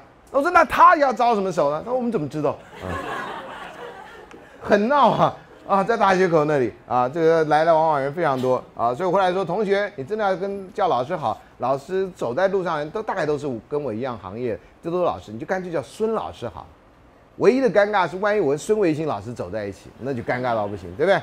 啊，孙老师好，我们两个人说，哎，同学好，啊，有一次我碰到毕恒达老师，我们俩在比谁的人缘好，谁的学生多，然后刚好走来一个，然后非常巧，我们班有一个双胞胎姐妹中的一人在我们系，有一人在他们系，然后走来那个人，我们不知道他那个人是谁，我们俩就在比，你知道西风跟那个太阳，对不对？啊，西风就来来，然后太阳说来来啊啊，反正我们就说，我就跟他说，哎，小毕啊，如果那个我觉我觉得那个是我们系的人，他不，那个人是我们我们系的人，我怎么可能啊？不然我们走过去看他谁，他跟谁打招呼。我们俩就这样玩游戏，然后就在就在这个附前面呢、结果那个同那同学就问了一声：“老师好。”没有人得胜，你知道吗？后来说：“同学，你站住，我们一定要问个清楚，你是跟毕老师打招呼还是跟我打招呼？”他：“当然毕老师了。”当场毙了，你知道吗？啊，那小毕就说：“你看吧，我跟你讲，那就好伤啊啊！”后来我在路上看我的学生，我都不敢打招呼。然后老师好，我一看毕老师不在，我说你是我学生，他说对啊，老师你怎么这样？我说因为上次看到你姐姐，啊，他不，那是我妹。双胞胎真的造成人很大的困扰，他们高中都一直念同一个学校。我说那你们有没有换过班去上课？他说有哎，老师你怎么知道？我说你们双胞胎不就玩这个吗？对不对？谁分得出来谁是谁呀、他们还不同班，所以就换班，就帮忙换班，那就换班，好高兴，他们就这样，然后同学都以为是那个人。同学都分不出来，啊，所以这也是我不知道你们有没有碰到这种双胞胎啊？这双胞胎唯一的乐趣没有辨识度，所以可以玩这个游戏。我一般人都有辨识度，所以不能玩这个游戏。啊，好，那这个呢，接下来呢啊，分离失落时候的痛苦，我们就念浪漫这边哈、在分离或失恋的时候挫败会哭泣啦，所以你谈恋爱失恋了，当然哭了。还有别的路子吗？没有别的路就哭。我就建议你去那个化学药品行买一个容器，最好是一公升的那种哈。你就看收集眼泪可以收集到多少，收集到一公升的时候会有变化，啊，可能你眼睛就瞎了什么之类的。啊，每次都觉得同学说老师我我怎么样可以不哭？我说你就哭吧，怎么样？不要哭伤哭瞎了眼就行啊。老师我真的很难过，我说那就哭嘛，你很难过又不哭憋着不对身体不太好呗，啊，能够不难过吗？老师有没有不难过的方法？我说我不知道有啊。如果有，那我不就得诺贝尔奖了吗？啊，失恋一定难过的嘛，那你就哭嘛，面子便宜嘛，你就哭嘛，对不对？记住面子不要丢在马桶里啊。马桶面子是不能够被马桶溶解的，这个有学生非常认真的告诉我这件事情啊，我原来不知道。我说那卫生纸，卫生纸可以，它卫生纸跟马跟那个面纸，它们的那个质料不太一样。啊，所以你们应该有人也知道啊，环保啊，所以你的面纸不要丢在马桶里，因为它不会分解，呃，或分解比较慢。那卫生纸是可以的。我的一个老师讲的非常狠，他怎么拿擦嘴巴擦那个地方东西来擦嘴巴呢？这什么？这这话萦绕在我嘴脑中，就像说，你不觉得垃圾就像跟蝾螈嘴巴摆蝾螈一样，萦绕不去，很可怕的画面啊！好，我真高兴的是，在我垃圾之后知道的事情。垃圾前知道的话，我这辈子大概跟垃圾绝对绝缘。另外呢，就是爱情对象重逢或怀疑爱情对象会回不会回报却回报的时候，有一种意外的惊喜哈。那个爱情电影里面有关那个误会，误会以后冰释以后，那两人的关系就会更上层楼这样。啊，所以误会有时候长远来看，误会是一种催化剂，让感情会更美啊。那电影里面经常在爱情电影，特别是。经常要有一个梗，是他们两个有误会。爱情电影没有一个梗有误会就没意思。我当初以为那些年那个梗，是因为要铺后来什么，后来发现没有，啊，那梗完全就是就不是个梗，这样懂吗？啊，好，哎，我这样讲，到时候他会不会上我的网站啊破坏，搞破坏或者什么，会来回应这样哈？好嘞，欢迎他来啊，我有粉丝页啊，欢迎他来。嗯、我怕什么呢？啊，他念社会学的啊。我们也可以谈谈社会学知识啊。好，爱人之间喜欢分享经验、交换礼物了哈，所以连礼物都没有，那你至少分享经验嘛哈。还有很多礼物不是那种你一定要很实质的。那个冬天快到了，很多人在圣诞节前谈了恋爱，女生做的第一件事情就是帮男生打围巾。啊，本人以前也接过一条围巾，后来失恋以后就不知道如何自处，后来就送给我南部来同学，说啊天气冷了，我关心你。他就哇台北人好好。懂吗？啊，这也是一个办法啊。那我以前住在一个针织店的楼上啊，那针织店呢，常常在快到冬天的时候，大概这时候就开始有人去说，老板，我要买最贵的毛线啊，这一卷多少钱？请问打一卷围巾要多少卷？这样哈，老板就跟他讲，啊，老板说你会打吗？不会，老板就塞给他一个板子啊，听说那就是连最笨的人塞个板子都会打出一条围巾来，这样，我觉得你干嘛不就买一条呢？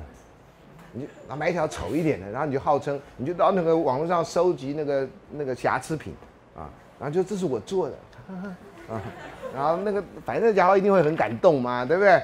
啊，那瑕疵品呢？哎呦，那就你的情谊在里面比较重要啊，对不对？你这样就把瑕疵品有了一个另外一个出路，好吗？这也是一个办法了啊，虽然有点撒谎，但是小小的乐趣嘛啊。所以好，第三第接下来，爱人之间喜欢分享经验交换礼物，这刚刚讲过，对不起。爱人之间呢会长时间的注视对方，这是尤其在喜憨期刚开始的时候，两个人坐在图书馆就一直看着对方，不是那种一个人看另外一个人，一个人看地上那种，两个眼神你就不知道在传输什么的蓝牙了吗？你就看他牙，啊，那同学对不起，你牙张开一下干嘛？看你是不是蓝牙呀？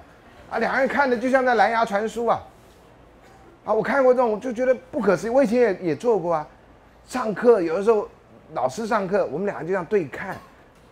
看着你就觉得那真的就像 Q R code 里面好多资讯呐，你就看着它，你就觉得有个 Q R code 在里面，你觉得啊，我们下课要吃什么啊？昨天的巧克力好好吃，哇，一堆你你喜欢的那围巾什么颜色？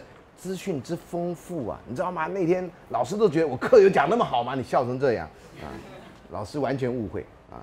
还有呢，爱人间长时间住对方，迷恋对方的身体特征。啊，人家说，哎呀，你的耳朵好大，好漂亮，你的耳垂真是。我耳垂小时候最麻烦，就同学我们喜欢玩嗲耳朵，你知道吗？谁输了，我输的话，他们就会嗲我耳朵。所以我一上课，我的耳朵一定是红的，因为下课之后被嗲到了。然后他们那都没肉的，嗲了我头还手还会痛。我这种你知道多多软呐，啊，嗲的我那样，哎呀，到现在都还记得。呃，小学同学会大家说，哎，我们以前都嗲你耳朵，这种事情还需要再讲吗？啊，很惨呐。所以耳垂那么大有好命吗？呃，好像没有啊。但至少跟人家叼耳朵的时候，人家很喜欢跟我玩啊。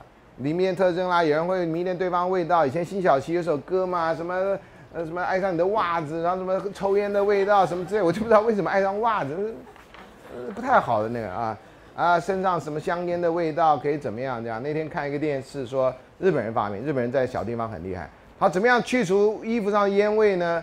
啊，就是在一个把衣服摆在一个袋子里面，然后用吹风机，然后再撒一点酒精，还是还是什么东西，就可以快速的驱除衣服上香烟的味道。啊，会烧起来？好像不会。不不，你上网查一下啊，有就是加一个什么东西，哎，不是酒精哦。等一下，我讲错了，反正就是吹风机，那会烧起来的。对不起啊，不能那样做。我忘了吹风机加一个什么东西，然后可以快速的驱除那个味道啊！谢谢你提醒，不知道什么东西，你上网查一下啊。好，所以耳朵啦、头发啦哈，那有人谈恋爱的人就会特别女生留长头发，那男生还要帮他剪分叉。我那时代真的同学就坐在男女的就坐在男的大腿上上课，还说你们这时代人淫荡，那我们那叫什么呢？嗯，你到外国去坐电梯，千万别下楼的时候小心一点，那下电梯会下楼，然后就会说狗淫荡，骂你啊。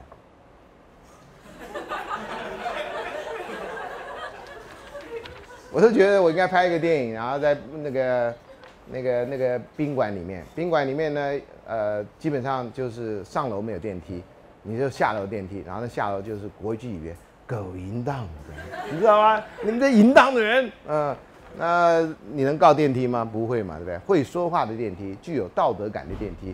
各位上过我课，你应该知道我对道德机械和道德科技非常重视，对不对？上次有讲过如何发明道德科技汽车啊。好，爱人之间有时候感到爱情对象融合为一，平衡融合跟自主，经常关心的问题。那融合跟自主有时候是矛盾的哈。有时候你希望今天中午自己吃饭，因为你下午上课要报告干嘛？可是呢，你可能在交往过程中习习惯了两个人一起吃饭，所以两个人从两个一起吃饭到每一餐都一起吃，到改变到有一餐不要一起吃，这个是一个大的跳跃。啊，我就有碰过学生，有一天啊，说老师，我可不可以跟你一起吃饭？我说好啊，那就一起吃饭。我说哎，等一下，你为什么今天要跟我吃饭？你不是平常都跟谁谁吃饭吗？他老师，我们有协议，我们中午不要一起吃饭啊，因为他要做实验，要连续什么什么之类啊。然后我说好啊，那我们就一起吃饭。他老师我不知道为什么就有那种叫什么离婚的感觉。我说为什么？你这就跟我老师吃一顿饭，你觉得有离婚的感觉？你应该有外遇的感觉才对。你讲什么呢你？那一团混乱啊！然后他说，因为每天都跟他吃饭啦，习惯啦，然后现在一下子要跟不是跟他吃饭，他觉得怪怪的啊。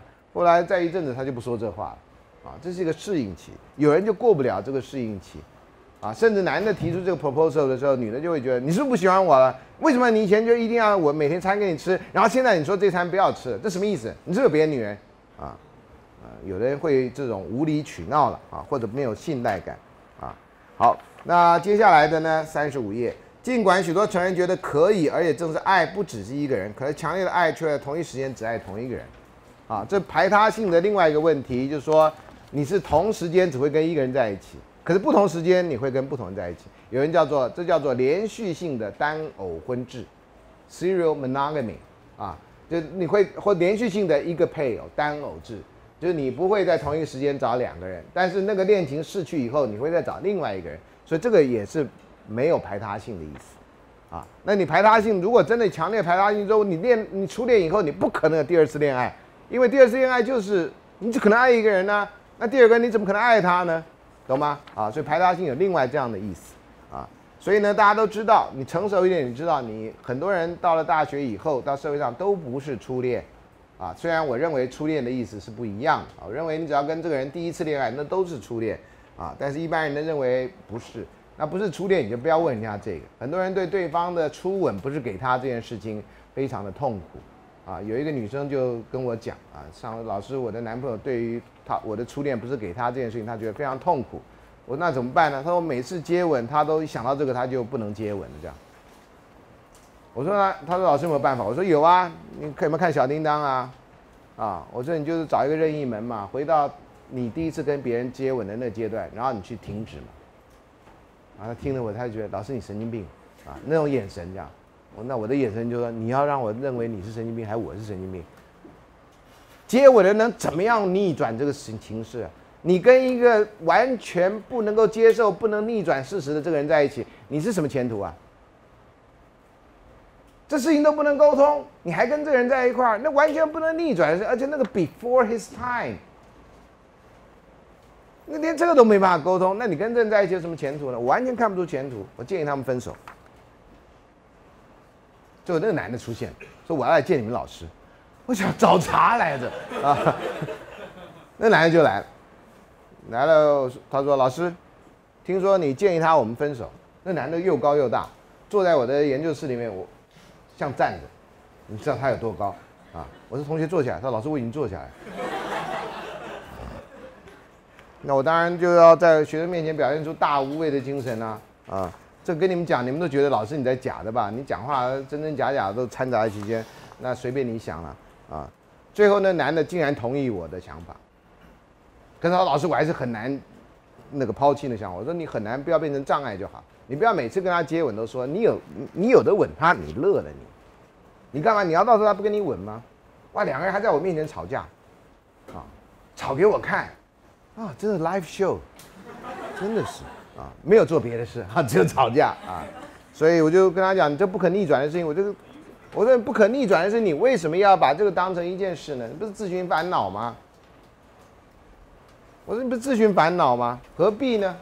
要不然你就不要在一块儿。我说我的逻辑就这样。他想想说有道理，然后他但是老师我不想跟他分开。我说那你就不要把这事情每次都卡在那儿。你不想跟他分开就。不要想这事，不要讲这个事，get over with it，不要再想这个事。你光想这个事情，只有搞砸啊！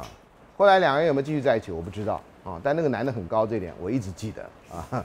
好了，那今天就先上到这里。